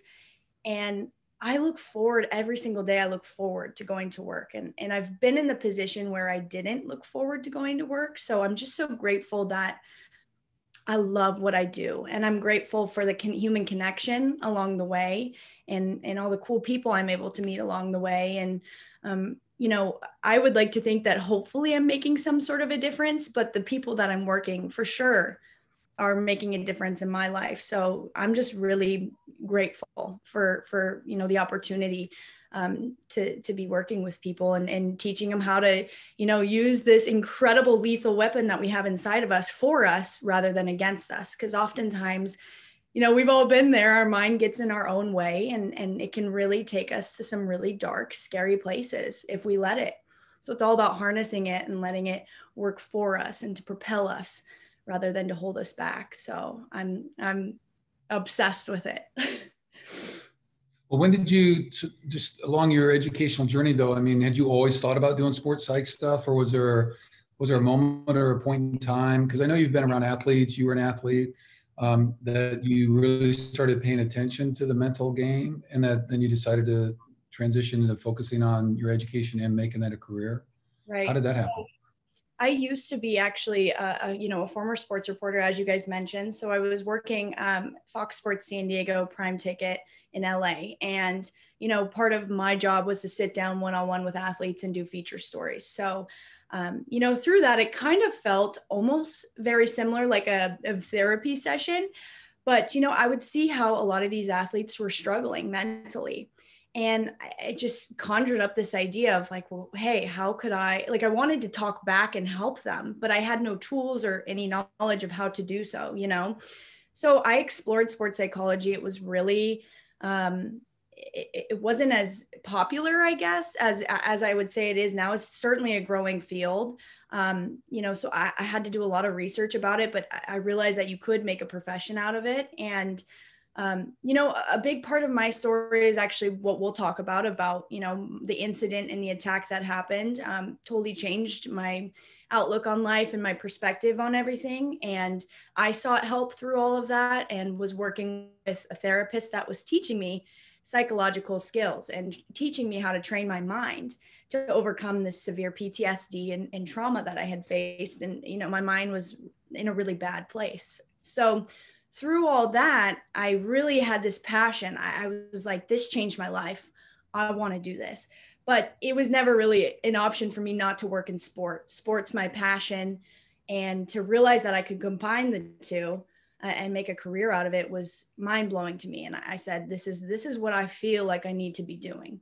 Um, you know what I mean? It just, I felt really called and I felt like if the doors were open, I was going to walk through them. So it felt like a little bit of a risk leaving my dream job at the time, but um, I'm just so much more fulfilled and I feel like I'm living my purpose. Right. Well, that's very cool. So, well, each week now we do kind of talk with the athlete guests about some of the mental performance stuff and a lot of times, you know, they're transitioning from high school to college and into the league. And, you know, usually there's just like everything, there's a maturation process within that. You know, they become most often a bit more sophisticated about it, more intentional that. Are there are there key components to some of the things that you work with that you think are super important? Just and not too much detail, but just some like core kind of building blocks for people thinking about mental performance that would be part of your normal routine with somebody think the core mental and psychological skills that I like to start with are um, confidence. A lot of people don't know that confidence is a trainable skill. We can train our confidence, and that, that comes from, uh, you know, productive and positive self talk. So, what are you saying to yourself? A lot of people actually have no awareness of what they're saying to themselves. So, the problem with that is, you know, they're talking trash to themselves without even knowing it, and it's impacting their confidence. And our confidence is so fragile. So so we really need to be aware of what we're saying to ourselves and, and talking to ourselves in a really um, you know productive way. And, and um, so I, I, think you know certainly self-talk is a big one that i like to drill in. Um, but you know i think where the mental game really comes in is helping athletes and this looks different for every single athletes but or for every athlete but helping athletes get into the present moment more often because the present moment is where life happens. And you guys know as athletes, you know, there's, you know, three places our mind can be. It can be in the past, it can be in the present, or it can be in the future. But there's only one place that our body can be, and that's in the future. That's in the here and now. And we know to be at our best, working uh, you know whether in our it's in our craft or sport whatever it is our mind and body have to be aligned so we need our mind to be on time with our body in the present moment so a lot of the work that I do with athletes is helping them get into the present moment more often. And that looks different for everybody, whether it's a cue, whether it's a phrase, whether it's a breath, it could be anything. And, um, you know, I, I just think that so often we miss out on the best parts of life happening in the here and now because we're so distracted. There's things vying for our attention all day long.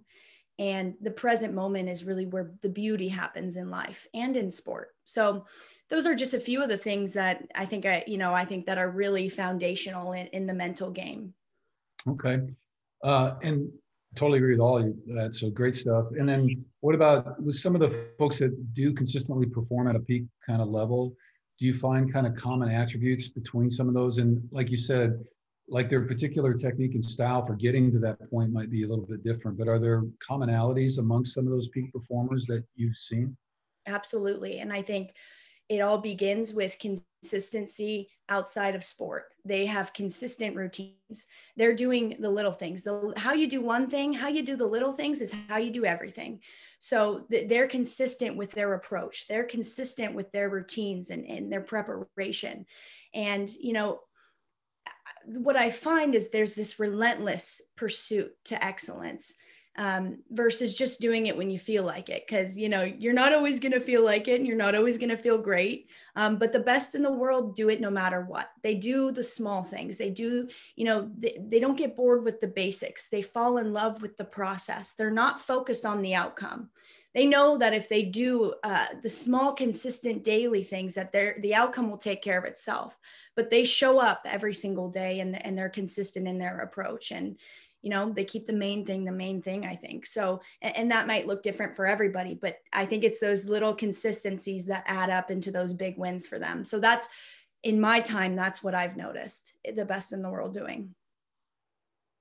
Can you talk a little bit about visualization? So trent uh, was talking about how you guys will do visualization processes and how it's really helped him. Can you talk a little bit about that you know, visualization is one of my favorite things in the whole world. And it can feel kind of weird for people who don't know what it is because it feels a little like witchcraft. But basically, how I break it down to athletes is our brain actually doesn't know the difference between a real event and a really well imagined event. So when I say a, a well imagined event, like we daydream all day long, I daydream about things all the time. But the key with visualization is you must include all five senses. So what are you hearing? What are you feeling? What are you tasting? What are you seeing? It, you know, I, I forget all five senses, you know, but you have to include all five senses. And and and that helps you conjure up this really vivid image. Does that make sense? So so we got to get it as clear and as crisp as possible and our mind actually doesn't know the difference. So what the athletes is trends in Trent's situation, he had this really, um, uh, really terrible injury, and he was stuck on a couch for months straight. And you know what I told him was, uh, you know, if you're if you're using visualization, you're out there still getting reps. And this is also great for athletes because you can you if you if you're you know visualizing and, and, and getting really specific with it, you know, you can lay there and get those reps without the wear and tear on your body. So it's great for injured athletes. It's great for athletes who just want to work on maybe a specific skill. Um, you know, this is something I use with my golfers all the time, and, and they're able to visualize. They go play eight holes, or eh, you know, uh, they they go play nine holes or eighteen holes um, just by visualizing. You know what I mean?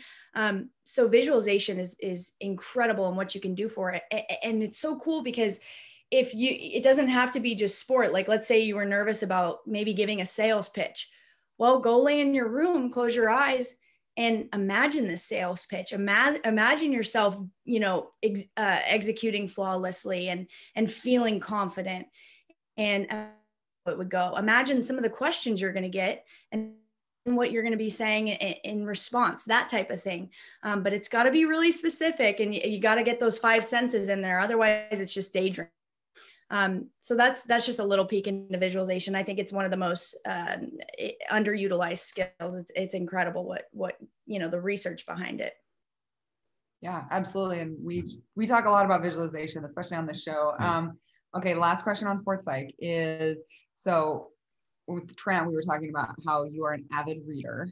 Um, so I want to, so I want to know uh, book recommendations, and then obviously you have trained and been around some of the top psych or sport performance people. So is there somebody who really resonates with you, or you know, one or two that you just really that speak to you?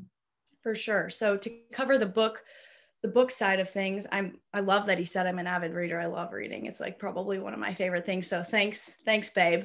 Um, i think some of my staple books that i i just i've read over and over again the first one chop wood carry water uh you read you could probably read it in a couple hours. It's like one of the easiest reads, but it has impacted me so much because it's really about falling in love with the process and the journey of life rather than, you know, getting so fixated on the outcome and where we want to be. Um, so I just love there. There's just such such cool stories in there, and I think it's a great read. So Chop Wood Carry Water is one of my favorite books. Um, I, I, love the book Atomic Habits, The Habit Loop.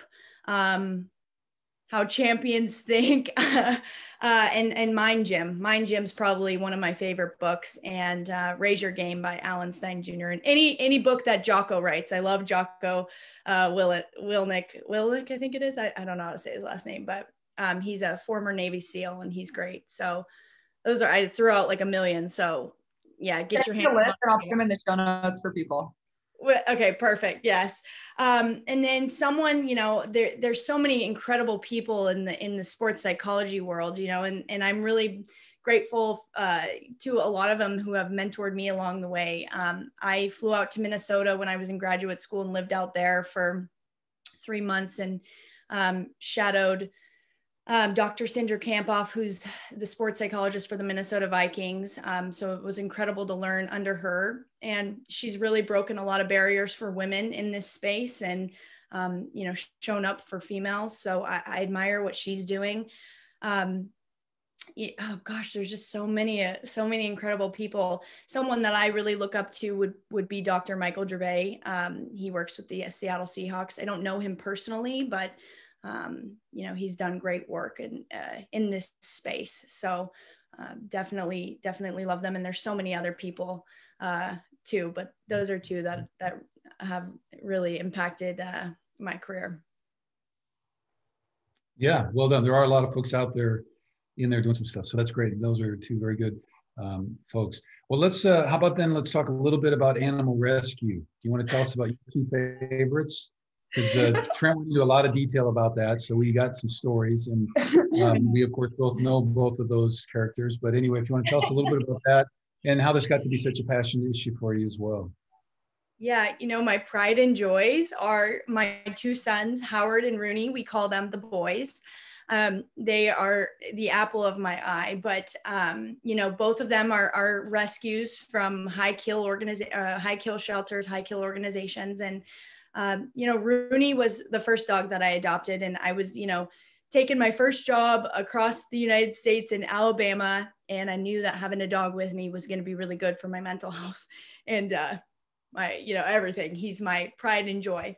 So, you know, I, I went looking. Petfinder.com is a really great resource if you're looking to rescue because it will find um, animals in a specific breed near your zip code, and it, it's just awesome. So, I was looking for a female, wanted a female. I thought, and one day my mom goes, Why don't you just look for a, a, male just to try? And I did. And he was the first one that came up, and his name was Scratches at the time. Um, but I, I, went to go meet him, and he was an angel. He had, um, you know, really matted fur, feces all over him, um, fleas, tick, everything. He, I mean, he was a mess. And um, I like, like to say that I saved him, but he saved me in in the end, and he's my pride and joy. And and Howard is our newest he um, was actually thrown out of a moving vehicle and hit by another one had to um, they were going to euthanize him on the spot but he was just such this gentle kind spirit that they called um, uh, Guidry's Guardian, which is the most incredible organization, and they saved him and they paid, uh, I think it was around eight thousand dollars in medical bills for him, and he got metal in his hips. He's a toughie. He's brave, and you know he's taught me so much about life. So we're working with him. He's got a little bit of tra- trauma, but um, Guidry's Guardian on Instagram. They, uh, you know, a, a, sports reporter for the Dodgers, Alanna Rizzo, is in charge of, of uh, Guidry's Guardian, and, and they do incredible things because they take the dogs that um, are just so so severely neglected, and they pay for the medical bills and find them a really good forever home. So I love what they're doing. That's where I got Howard. Um, they're close to my heart, and you know, this I think the passion just came from, um, you know, they're voiceless. They, um, you know, are at our you know they're they they surrender to us they depend on us and to see someone um, you know just abuse or neglect that uh, these little precious souls just um, ignites the most incredible emotion inside of me. It's just uh, one of my passions. I, am not exactly even sure where it came from but um, i try to be the voice that they don't have and I will always commit my life to trying to help as many animals as I can. It's just it breaks me, you know what I mean? So super close to my heart. And you know, Trent was never really a, an animal guy until I met him. And I've uh, kind of converted him that way, so I'm I'm grateful. And I know Emma, you're passionate about animals, and I know you are too, Bruce. So I appreciate that. And I think that um, you know we can make a difference for for these little guys and big guys. Yeah, we love our puppies and and kitties and horses. Actually, yeah, because my wife Jan, so she uh, supports a horse rescue place in Texas, and so she's got a friend that works there. So it's yeah, from from large and small, there's a lot of need out there. So there uh, is. Yeah, good stuff. So, well, okay.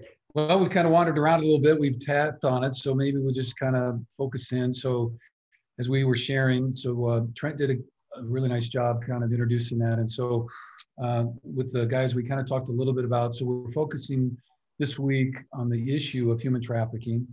And then the charity that we're sponsoring and supporting is End Slavery.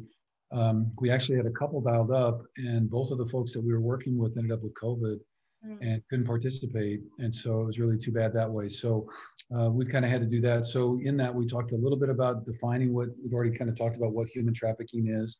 We talked about the different kind of forms it takes uh, from kind of servitude, forced labor, debt bonding, all that kind of stuff, and, and then including, of course, sex trafficking and that, and child labor. So talked a little bit about that. And then we looked at some of the numbers from the end slavery stuff um, website, talking around a minimum of 21 million people, up over 40 to 50 million people. Kind of, it's because it's such a moving target and really, really hard to identify. So all that said, and so we've kind of referenced, and Trent talked a little bit about, you know, what happened with you and all that. But um, so if you're all right, Sarah, just, you know, if you don't mind sharing kind of that story about what happened to you and, um, and kind of how that may have impacted you as, you, as you've gone through that. Mm-hmm. Well, I appreciate the platform in order to talk about it because it is so close to my heart. Obviously, it, it is tough to talk about, but um, I think it's it's my calling, it's my purpose, and I, I have to. Um,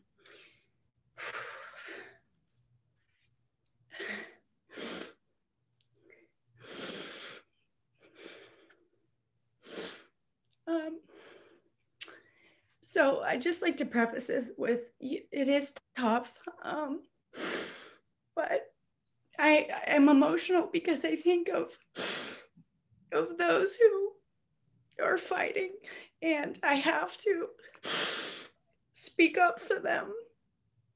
So that's that's where the mo- that's where the emotion comes from. Um, certainly not from my situation, but for those who are affected by this. Um, so you know my and part of part of the reason that I, I need to speak up is because this is normal and this is happening everywhere and this is happening to very very you know normal i would like to think i'm a very normal person and you know this is happening everywhere So I think it's important for me to talk about it because you sometimes you don't associate this with people you know. Um, but my story really just starts um, down in San Diego. Um, I had just gotten my job offer working um, at, Fox Sports San, for Fox Sports San Diego. And I, I had just moved there. It had been a week since I, I moved. And I lived in La Jolla, um, one of the most beautiful places in the whole world. Um, just a really, you know, when my parents were helping me find an apartment, I said, you know, uh, I, you know, I'm a single woman living alone and I, I want to feel safe. So we decided on La Jolla and um, I said, you know, it was a beautiful area. And I, I one day I was like, you know, I'm, a, I'm an avid runner and I was going out for a run um, during my lunch break and uh, it was noon, you know, in the middle of the day. And I was out on a run exploring the area and I was running up a hill and saw this man um, who I'm who I didn't know, um, and he he was getting something out of his car and had his back door open. And um, as I ran past him, I, I noticed that he had something in his hand. And to be honest, it looked like a microphone. So in my mind, I'm like, oh, is he a reporter? Like, I'm a reporter. And I think that was one thing that potentially saved my life because my head was was focused on him and he didn't catch me off guard. So he ended up turning around and grabbed me and um, the, it, it, all happened so quick, but um, there was a severe pain in my chest. And I thought, I first looked at him and, and, and laughed because I was like, why are you touching me? And um, but this pain in my chest was killing me and i thought i looked down and, and he he was holding something against my chest and i thought he had stabbed me and so immediately i started freaking out and i tried to scream and nothing came out so um, it, i was a little i was so thrown off and so scared and it really wasn't until he took my head and shoved it and and started to work my body down into the car and then i i mean so many things flashed flashed uh, through my mind. And, and one of them, this is just so crazy to me. Um, you know, back when I was in high school, I was homesick one day and there's nothing on TV ever. So I was watching Oprah. And this woman had been uh, kidnapped and she was telling her story. And she said that she was in the back of the car and she thought to herself, if you stay in this car, you're going to die. So on the freeway, she opened the car and flew out and she survived. But she said, I, you know, verbatim, if you're going to be in that car, you're going to die. And I heard this woman's voice talk to me, and she said, if you get in that car, you're going to die. So I'm sorry. Um, so, you know, I've taken a lot of self defense and I'm tiny, but I remember thinking, you've got way too much to live for. So I, I fought and I fought and I fought. I don't know how I fought. I just, I, you know, I punched, I did whatever I kicked, and then I was able to scream. And he then, I noticed it was a taser that he had, um, and he began to taser me. And I kept fighting and fighting, and he grabbed my hair and just started kind of you know beating on me and, and he was really close and i looked him in the eyes the whole time because I said, You're not going to take this from me. This is, I'm, I've got too much to live for. And I stared him down. And I think that was another thing that contributed to, you know, me being able to get away was I was confident and I wasn't going to be his victim. He, he chose the wrong person. So I fought, fought, fought. He continued to tase me. Um, I didn't feel anything. I was so, everything was just crazy. And I maneuvered one way and was able to get he only had one arm on me and I was able to get away a little bit and I kicked and backtracked really fast and was able to get away. And as I was running away, I, I, I, I jolted into the middle of the road because I, you know, I'd rather be hit by a car at this point. I noticed on the car that there was a Lyft sticker.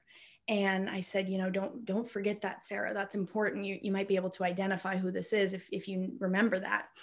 So I ran into the middle of the road, and as I did so, um, there was someone driving down, and I was screaming, and I, I was had my hands flailing, and this young woman opened opened her door and I said, there's a man. I looked crazy, I'm sure. And I can't even believe she pulled over to pick me up. And I said, he's trying to kill me and he's over there.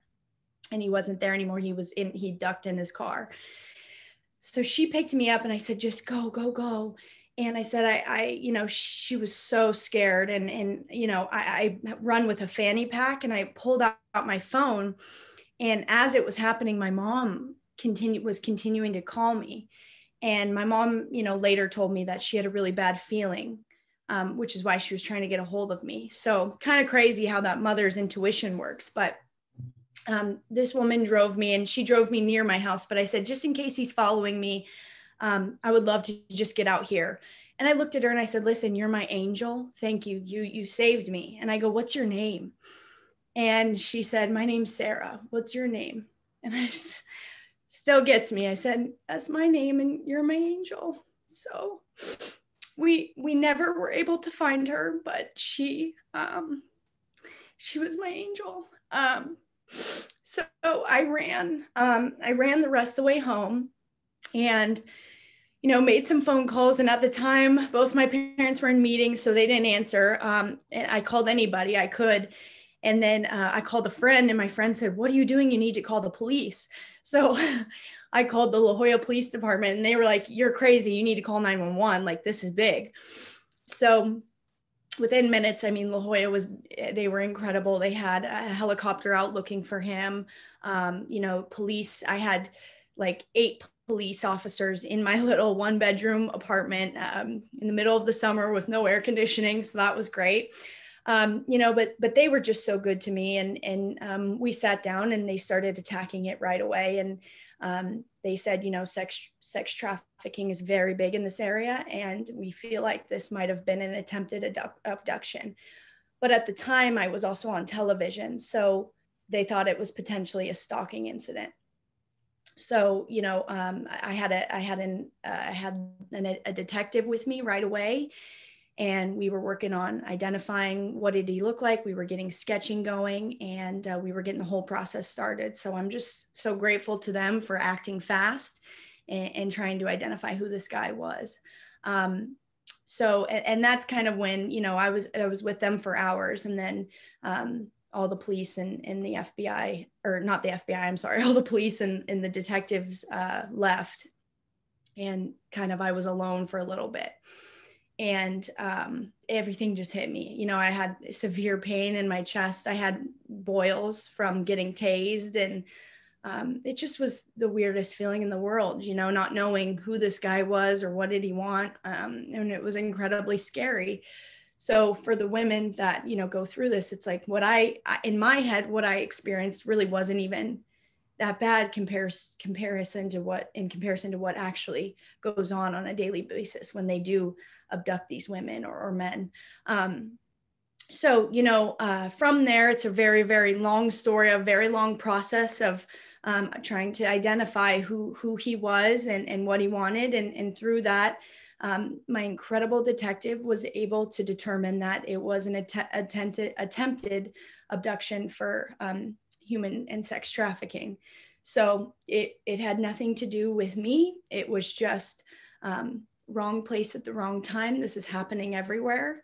And um, I think if, if I hadn't been so aware and, you know, I, have you know, taken the, the, the um, training, the, the self-defense training and, and the confidence with me. And I was, you know, caught off guard but still prepared to fight. I think if i didn't have that awareness and i wasn't in tune i think it would have been a different story. So certainly that's a whole nother topic of ways now that I, I, teach women of how how to carry themselves and how to be a little bit prepared for you know not to live in fear but to prepare themselves. Um, but you know I, the la jolla police department the san diego police department and, and my detectives um, i mean those people are are incredible. So I, you know, I owe a lot to them because they helped helped me kind of um, figure all this stuff out, and um, we were able to um, all work together to to get some things solved. And it, it, didn't end exactly how I would have wanted it to, but um, you know, I'm here, and that's all that matters. And I'm, uh, you know, I'm I'm blessed that it happened to me because this is made me the woman I am today. And I will continue to fight, you know, for those who don't have a voice right now, you know. Sorry, it's, I, you know, the emotions are just power, you know, because you just think of, think of everybody going through, you know, the women and men impacted by this. And it's just, it's overwhelming to me.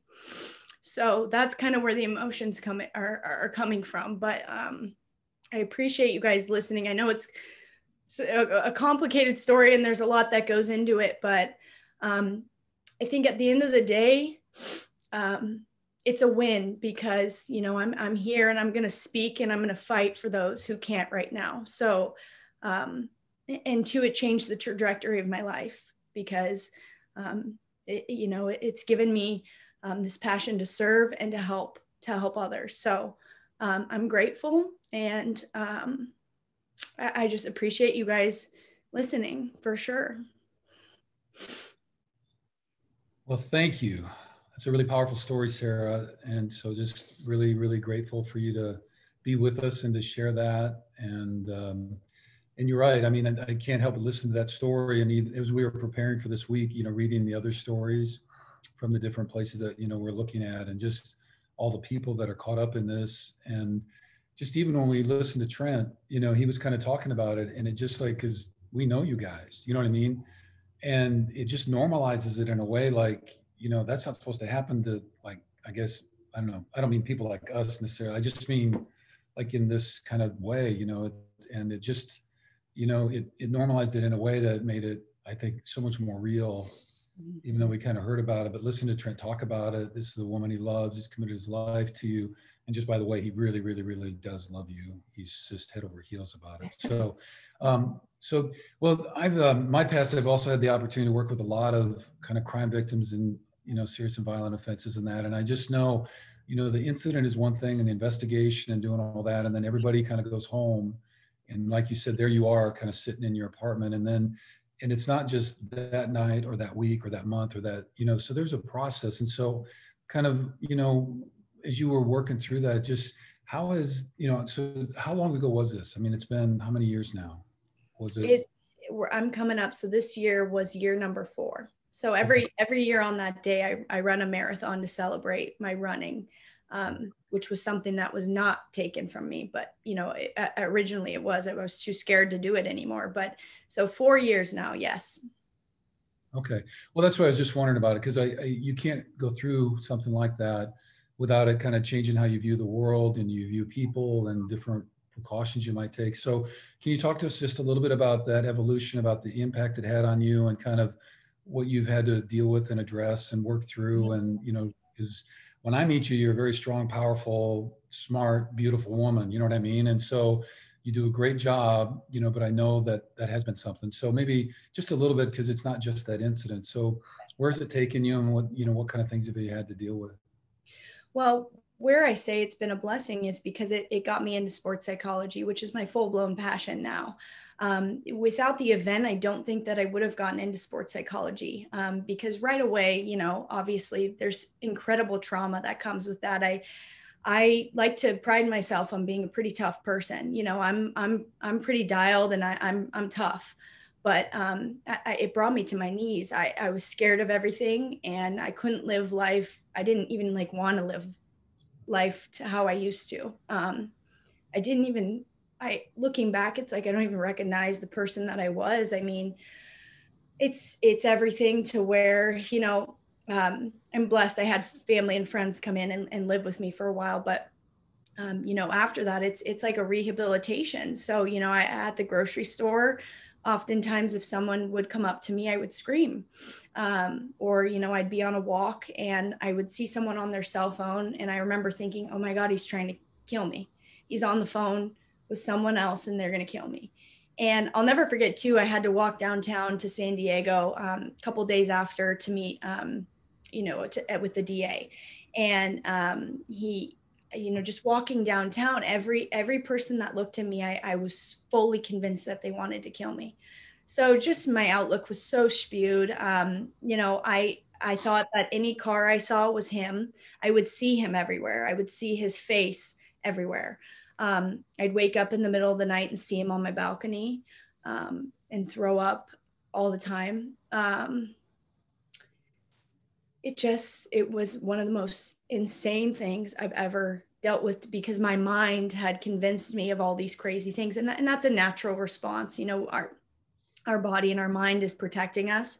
Um, which I understand now, but at the time I just didn't feel like I had any control. You know, here I am, a young woman with my dream job, and I'm I'm terrified. You know what I mean? So, um, you know, that's when I decided to get some help, and I met with a therapist, and and that changed the entire outlook on everything and i was able to really process what had happened because a lot of the times when when you when we all face trauma whether it's with a big t or a little t and um, it's all begins with processing and and when you face really big t trauma like that your mind isn't really able to process what exactly happened. And that's what what results in that ptsd and so you know being scared of everything I, I, mean i was seeing like i said i saw him everywhere in the night terrors. And it was you know it's something that still occurs but um, you cert- i certainly have the tools now um, when something does come up I, I know how to address it and so i think you know my work with my therapist it, it totally changed my life. Um, you know i think my faith in god helped me. Um, I, I think that was the first and foremost the only way i got through that was my faith in god and knowing that i am here for a reason and i survived it for a reason. And now how am i going to ignite that fire and go and, and live and live my purpose now? And the really incredible thing that came out of all of it was I've got this zest for life every morning that is I've never it, it's unmatched of I never lived like that before. You know, it's just another day for me. I, I wake up with zest, man. I've got I've got energy and I'm excited because I've got a lot to live for and I've I've got so many, you know, passions and I just I know that I'm supposed to be here. So I think the beauty that came in all of it was um, I've got a clear vision. I know I know what I want to do. I know how I want to help, and I know why I'm here. Um, and and two, I think um, it just it, again it gave me a passion for this human trafficking. I didn't know anything about it before, you know. And and there's stories that I see now that just it's insane. It's it's something I think about on a daily basis. Um, but yeah you know so it's it's months and and years of working on yourself. But uh, again I, I harnessed my mind and then you have to change it into a good thing. So the good thing for me now is is i overcame um, you know i'm not the same person that i was. I'm better than i was because of all of this. Um, it was an unfortunate thing what he did but he made me stronger. I'm so much better for it now and um, yeah i mean it's it, it is kind of crazy but uh the whole thing has been i look at it as a pivotal blessing i really do. And that's not just me saying that that's a belief i believe that i believe that this was a good thing.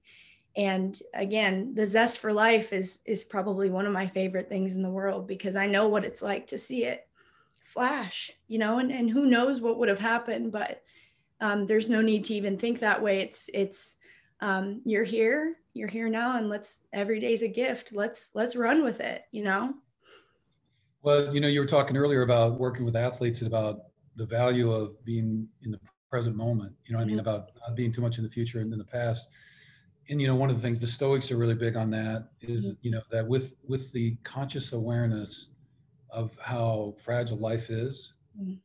and you know when you experience something like you experienced it and you kind of see that flash before your eyes it, it does, it seems like, have a tendency to ground us in a way that you do appreciate each day. You appreciate the relationships you have and the people that are in your life and the things you get to do and even the sun shining on your face. So, you know, and it's it's such a great thing that way. And so it's there too, just kudos too, because you know, um, the ability, because really life does happen, right? And like there's nothing that you did that caused that. It just, you know, wrong place, wrong time, like you said.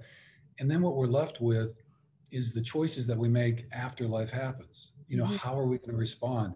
How are we going to get up? What are we going to do? What's our attitude? What choices will we make about who we want to be given what happened? You know, and I know that's a very different journey for people in all these different situations, but just really commend you, you know, for that strength and you know, going from how difficult it was, you know, and that that is a very common, you know, about how much fear you had and seeing the person and worried about it and all that into the place that you're at now. So anyway, great, you know, just really powerful to hear you know your journey and kind of where you're at and also realizing that you know it's an ongoing process you know and it's still kind of an evolution of work working ongoing so well thank you so much for sharing that so well then you know with that um what would you any recommendations to folks? So i guess i, I had a couple thoughts just you know either personally uh, do you have kind of suggestions anything else you know to other women and or because the other group that we had was actually working with you know middle school and high school age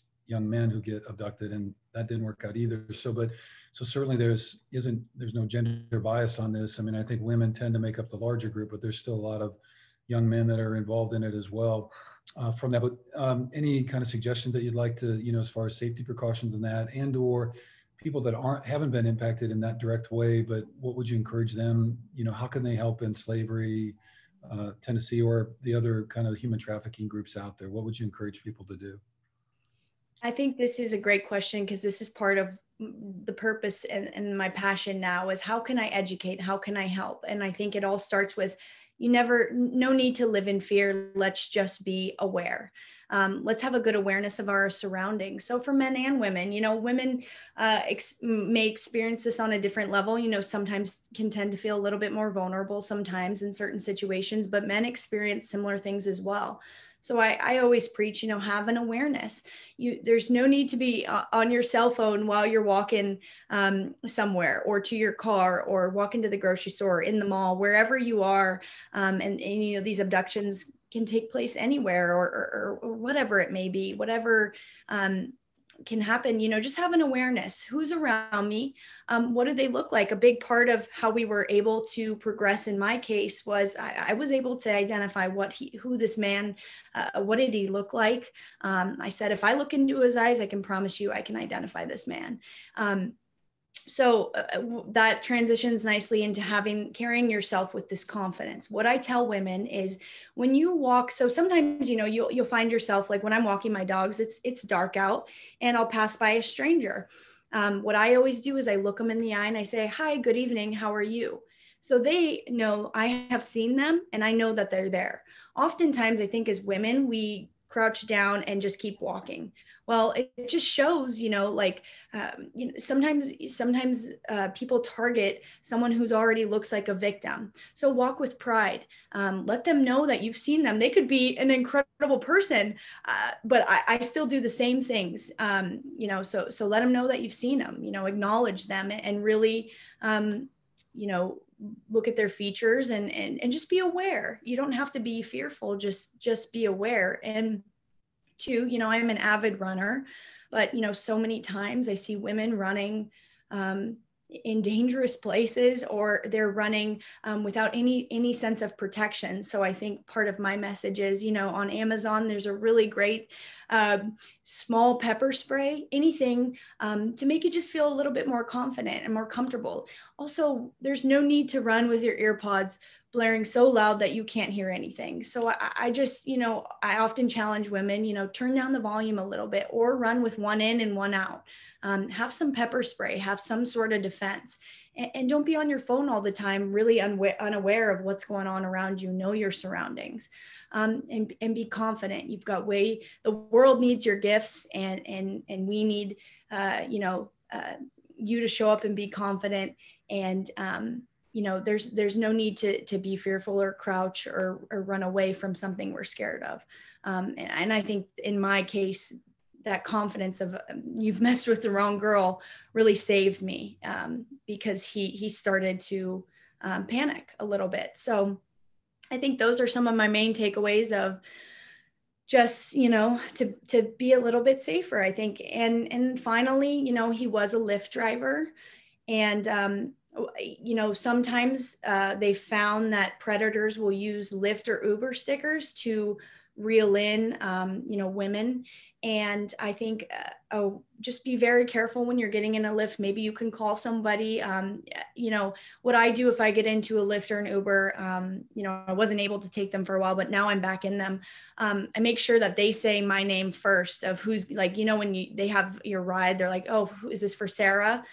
I make them say it first. I don't I don't open the door and say, oh, for Sarah because they'll you know they could just say yes. So make make them say your name and, and, take the take the proper precautions to make sure it's a safe ride. And if you feel uncomfortable you don't have to get in. Never get in if you feel uncomfortable. I have to i believe that we've got to trust our instincts on those type of situations. And you know uh you know you're very vulnerable when you get into someone's space. So um the smallest little precautions could could make all the difference you know what i mean? And i think it all just starts with being aware. Okay. Well uh, in the show notes we're going to have uh, the website and stuff for end slavery tennessee. And they've got a list of pieces is both with volunteering and donations and that. They talk a little bit about uh, making sure that the businesses that we do business with are what they call slave free. So make sure that they've got a commitment on social justice issues that include not using bonded servitude or any of those kind of things, you know, particularly for companies that, you know, are outside the United States or make products and that kind of stuff. And then the biggest thing that they talk about, just like you said, is education, awareness, and then advocate, you know, speak up, you know, for this issue uh, where you can and try to make a difference in the ways that you might be able to. So well, Sarah, you've been terrific. We really, really value and appreciate you telling your story. Is there anything else you'd like to add as far as encouragement or other suggestions? I don't want to cut you off in any way. Is there anything else you want to add? Well, I'm just grateful for the the ability to speak out about it, and I think if if I could just send everyone home with a challenge, it would just be, you know, do do 15 spend 15 minutes educating yourself on what's going on um, in our backyard. You know, this is a big issue; it's happening everywhere. Um, and there's ways that even even uh, uh, us as as regular people can be on the lookout um, for something that might be a little abnormal um, you know and, and certainly there's really incredible stories of someone who said something um, hey this doesn't feel right this maybe feels like an abduction um, and they found the people because uh, someone else has spoken up. Um, there was an incident on a plane where a man had a had a young uh, young woman and and they were able to save her because someone spoke up and said this looks a little fishy. So use your eyes, educate yourself, and uh, let's let's go out and make a difference. It all starts with us, but you know again the little things can add up and, and into big things so i think we we can all play a role for sure but it starts with education Okay. Then last, we ended with Trent on this too, so we like it because it's kind of the holiday season, and you have your beautiful red top on, so you're very festive. So what what is what are one or two things that this time of year are giving you hope, and whether it's related to this issue or not, but what what are things that you're hopeful about right now? Well, you know, I uh, my big hope is is in my Lord and Savior Jesus Christ. Um, you know, he my faith has carried me through my best days and some of my worst. So that's where a big glaring hope comes from comes uh, for me. But also um, in in kind of I, I, think my hope would be, you know, I, I I try and hunt the good on a daily basis. I look for good, and there's a lot of good out there. So sometimes we just have to change our lens and see the good and and sometimes be the good. So um, I, I, appreciate uh, you know really incredible people out there um, such as you guys doing doing amazing things um, like like this. So um, i think those are two really hopeful things. We've got really good people out there um, and yeah and the christmas christmas of spirit um, you know our lord and savior. So thank you guys so much. I'm appreciative for sure all right. Well, we'll continue to try to spread the message, spread the message, and along with some love and kindness, uh, and see what we can can get. All right. Well, thank you so much for sharing. Anything else, Emmy? Sarah Taylor, everyone. Yeah, Sarah. Speaking Taylor. up for animals and people who can't speak for themselves. Um, I have to say, I didn't quite. I mean, I know that you ran marathon, you were running before, but I didn't quite understand the weight of your running now. Um, so I. Uh, thinking I might want to run with you. Let's so run, girl. Want to run? Let's run.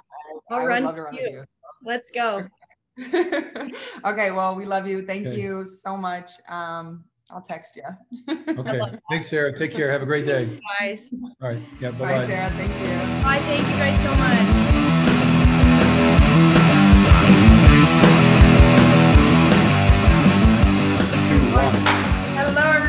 Welcome to our last segment of the show. Uh, this is questions with baby brother. Hi. Um, I also just want to say nobody has guessed the numbers. Uh, I gave two you, of you are seven out of the eight. literally right there, but we're not going to give you any more clues because otherwise it's just giving the number away. So If there's not a correct answer by the end of this episode, I'm taking it off the menu. it's pretty obvious. No, no, no, it's gone. And then I'm going to make a new challenge because this one I feel like should be pretty easy. Like I I, do too. I, I, I'm with George. I hand fed Akir I'm 100% with and I gave it to you. Like signed gloves, y'all. Signed gloves. Maybe not anymore. Good luck. Okay. So Anyways, uh, but two. I do want to say real quick, thank you to all the Niners, the women of the Niners, Niners fans that came out and did yoga with my sister and my wife. They had a blast. Um, I know Emma will probably touch on that a bit more, but my wife also had a blast. Um, so thank you for showing both them support and the San Francisco 49ers, um, now known as the Glendale San Francisco 49ers. But but let's just say something. So so the much. routine that I taught, and if you haven't done it, um, we're going to be uploading it onto our YouTube, so it'll be back. But um, Sorry. it's the restorative. It's a restorative yoga practice that I do with George, and we came up with this because You're giving people our secrets? well, we came up with this. Yoga's for everyone. It's a tool. I'm kidding. But we came up with this because when we were doing yoga in the beginning, uh, it was so dynamic and everything. And then finally George was like, yo, I just we gotta chill. And then I took a restorative yoga session and I, it like finally hit me, you know, because I do not compete or train at the level that George does. And yes, I do. Um but just that level of stress and i feel like sometimes when you think about yoga and it's like the hot power yoga and you kind of flow through it so when we started realizing how effective and just healing or restorative yoga practice was not just to his physical body but also to mental emotional spiritual it i feel like it just put all the dots together. So if you have not ever experienced restorative yoga go youtube some stuff you're going to tip me out of my chair Sorry. thank you um, but yeah, so big shout out, Women of the Niners. Thank you for having us on. We would love to partner with y'all again soon. Um, yeah. So, all right, let's get into the questions. So we have two questions tonight. Um, this one's from Ryan, Ryan Quayle. Hi, Ryan. I hope you're having a wonderful day. Um, just want to say thank you for listening to Hidden Pearls podcast. And um, if you're of age, drink a Bud Light. And thanks for the book. I, I didn't, I'm like, it always makes me so happy that he's a listener. We'll get to we'll get to the end. All right. So, hey man, big fan. I was wondering how you go about off-season training wise. Do you take any time to recover or are you right back at the gym training? Do you know how to relax? I'm throwing that in there. Uh, maybe this year was different with the injury. By the way, how is the foot doing with your healing as a fantasy owner? It would be great for the update. Thanks. Savage. Fantasy fantasy update.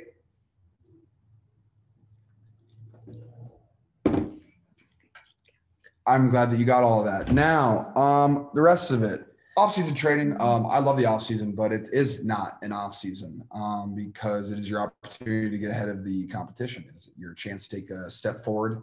Um, and as Bruce, you know, one thing that I do love about my dad is he's great with he loves laminating cards with sayings on them that he thinks will help um, Video. uh, no, no, but help with like your mental training and your focus. And one of my favorite ones, I they, that's why I'm bringing it up, is because they do help. One of my favorite ones is um, small, consistent steps in the right direction lead to great results, and that is something that I say to myself um, based on a daily basis. Um, It's also on our mirror in the gym. it's on our, it's on my mirror in the gym. It is, um, it is, like I said, it's something that I say to myself on a daily basis, uh, daily basis. And so, um, that, so to me, every day in the off season is another step towards my goals of, you know, in the NFL. And so that's something I use all the time. And, um, but yes, I do know how to relax. Um, I take some time off after the season. Um, I've gone from not being in the playoffs to going to the Super Bowl. Have not had an in between yet. Um, so I've had, um, you know, when we didn't go to the Super Bowl after 2018 season, um, I went to the Pro Bowl, which was really fun. Um, but I really didn't know what the Pro Bowl was at that time, so I like still trained for it like it was a real game. That was a waste of my time. But um, if I had to do it over again, um, I would definitely. I think after my rookie year, I took a month off. Uh, but I'm big into taking like three or four weeks to myself. Um, I I work out mildly, you know, like I stretch, do some yoga, some mental stuff, but I'm not front squatting 300 plus pounds or anything like that. I'm not doing sprints. I'm not running routes. It takes some, you know, because you know football is a grueling sport, and when you start, when I start my off season training, I'm in football mode from usually um, the Super Bowl um, or the week of the Super Bowl or a month afterwards, like it was last year and I am straight through until my season's over. And that's just kind of how I do. And I take a little week, you know, in the middle of June or July um, to myself, and I'll get a little, you know, recovery time. But it is, it's a straight through shot for me, and I think that works really well for me because once I get going on something, it's I'm locked and loaded. Injuries do suck though. Yeah, yeah, they're not nearly as fun. But um, I'm practicing and I'm catching footballs again. I'm having an absolute blast. So it's actually been really fun this last week watching people posting, like the media will be like, George Kittle was on practice. I'm like, it's been so long since I've seen you on social media. I disappear very easily. It's very fun. It's very fun. Thank you, Ryan, for the question. Um, okay, next question is from Lydia T. Lydia. Lydia, you are on fire. You are I have to not choose your questions sometimes, and I regret that. You've hidden her questions from me. How dare you? People ask questions, and Lydia always asks such great questions. Lydia. Lydia, I'm sorry for my sister. She can be so rude sometimes. I'm not rude. I'm spreading it out. How dare you? We brought her back. All right. Uh, could you see yourself starring alongside The Rock in a movie someday? If so, what movie genre and what would your character be like? Wow. Wow. Wow. Wow. Wow. Mm, I would love to be in a movie with The Rock. Um, I don't really know how my acting skills are. I actually just saw something with um, totally just going to go sideways on this, but I just saw something with Matthew McConaughey where he said that when um, everything after the first take is acting, um, because your first take is how you actually respond to the, that situation. Like you don't know what's actually coming, uh, you know, to an extent. And so I thought about that because my entire really career, every time I've done videos and media stuff, I am a one take wonder. Um, so I don't know how good of an actor I am, but I am good at living in the moment. I mm-hmm. specialize in living in the moment. So um, I could do something actiony. I could. I think I could do some comedy stuff. I think a Jumanji movie would be really fun. If you know, if The Rock was ever in a Godzilla movie, I would love to be in that. Godzilla, Godzilla. I love Godzilla movies. Yes, that'd be really fun for me. I would do it. Yeah, like I said, Jumanji would be pretty fun for me. Um, he grew up on that movie as well. So if there's any, you know, other arcade you know, game. Dwayne, movies. we here. I'm really athletic too. I could probably be a stunt. I could use some more tequila too. We could. We drink it heavily as a family. Slap that. All right. Uh, any last shout? Oh, the Zenni collection. Ooh, the Zenni collection by the kiddos. Me and my wife The glasses, um, blue blocker glasses, which protect your eyes if you're looking at a screen all day uh, such as the laptop we're recording on or your cell phone. Um, so if you're on those things all day, blue light blockers really help with that. They protect your eyes. You won't feel so dry, itchy, and sore. Um, that's really cool. We got really cool shades on them. Um, I've been wearing them everywhere. If you guys have seen them, let me know. If you guys have them, let us know because that's really cool. Yeah, tag us. So much for the support. Um, but I'm a huge fan of that. And huge shout out to Zenni really for letting us get the whole thing done because it was a really fun project for me and Claire. We really enjoyed the whole process. So, last but not least, Wooga, if you're still listening, carry me, gosh darn it, carry me to a victory on the. All right, bye, y'all.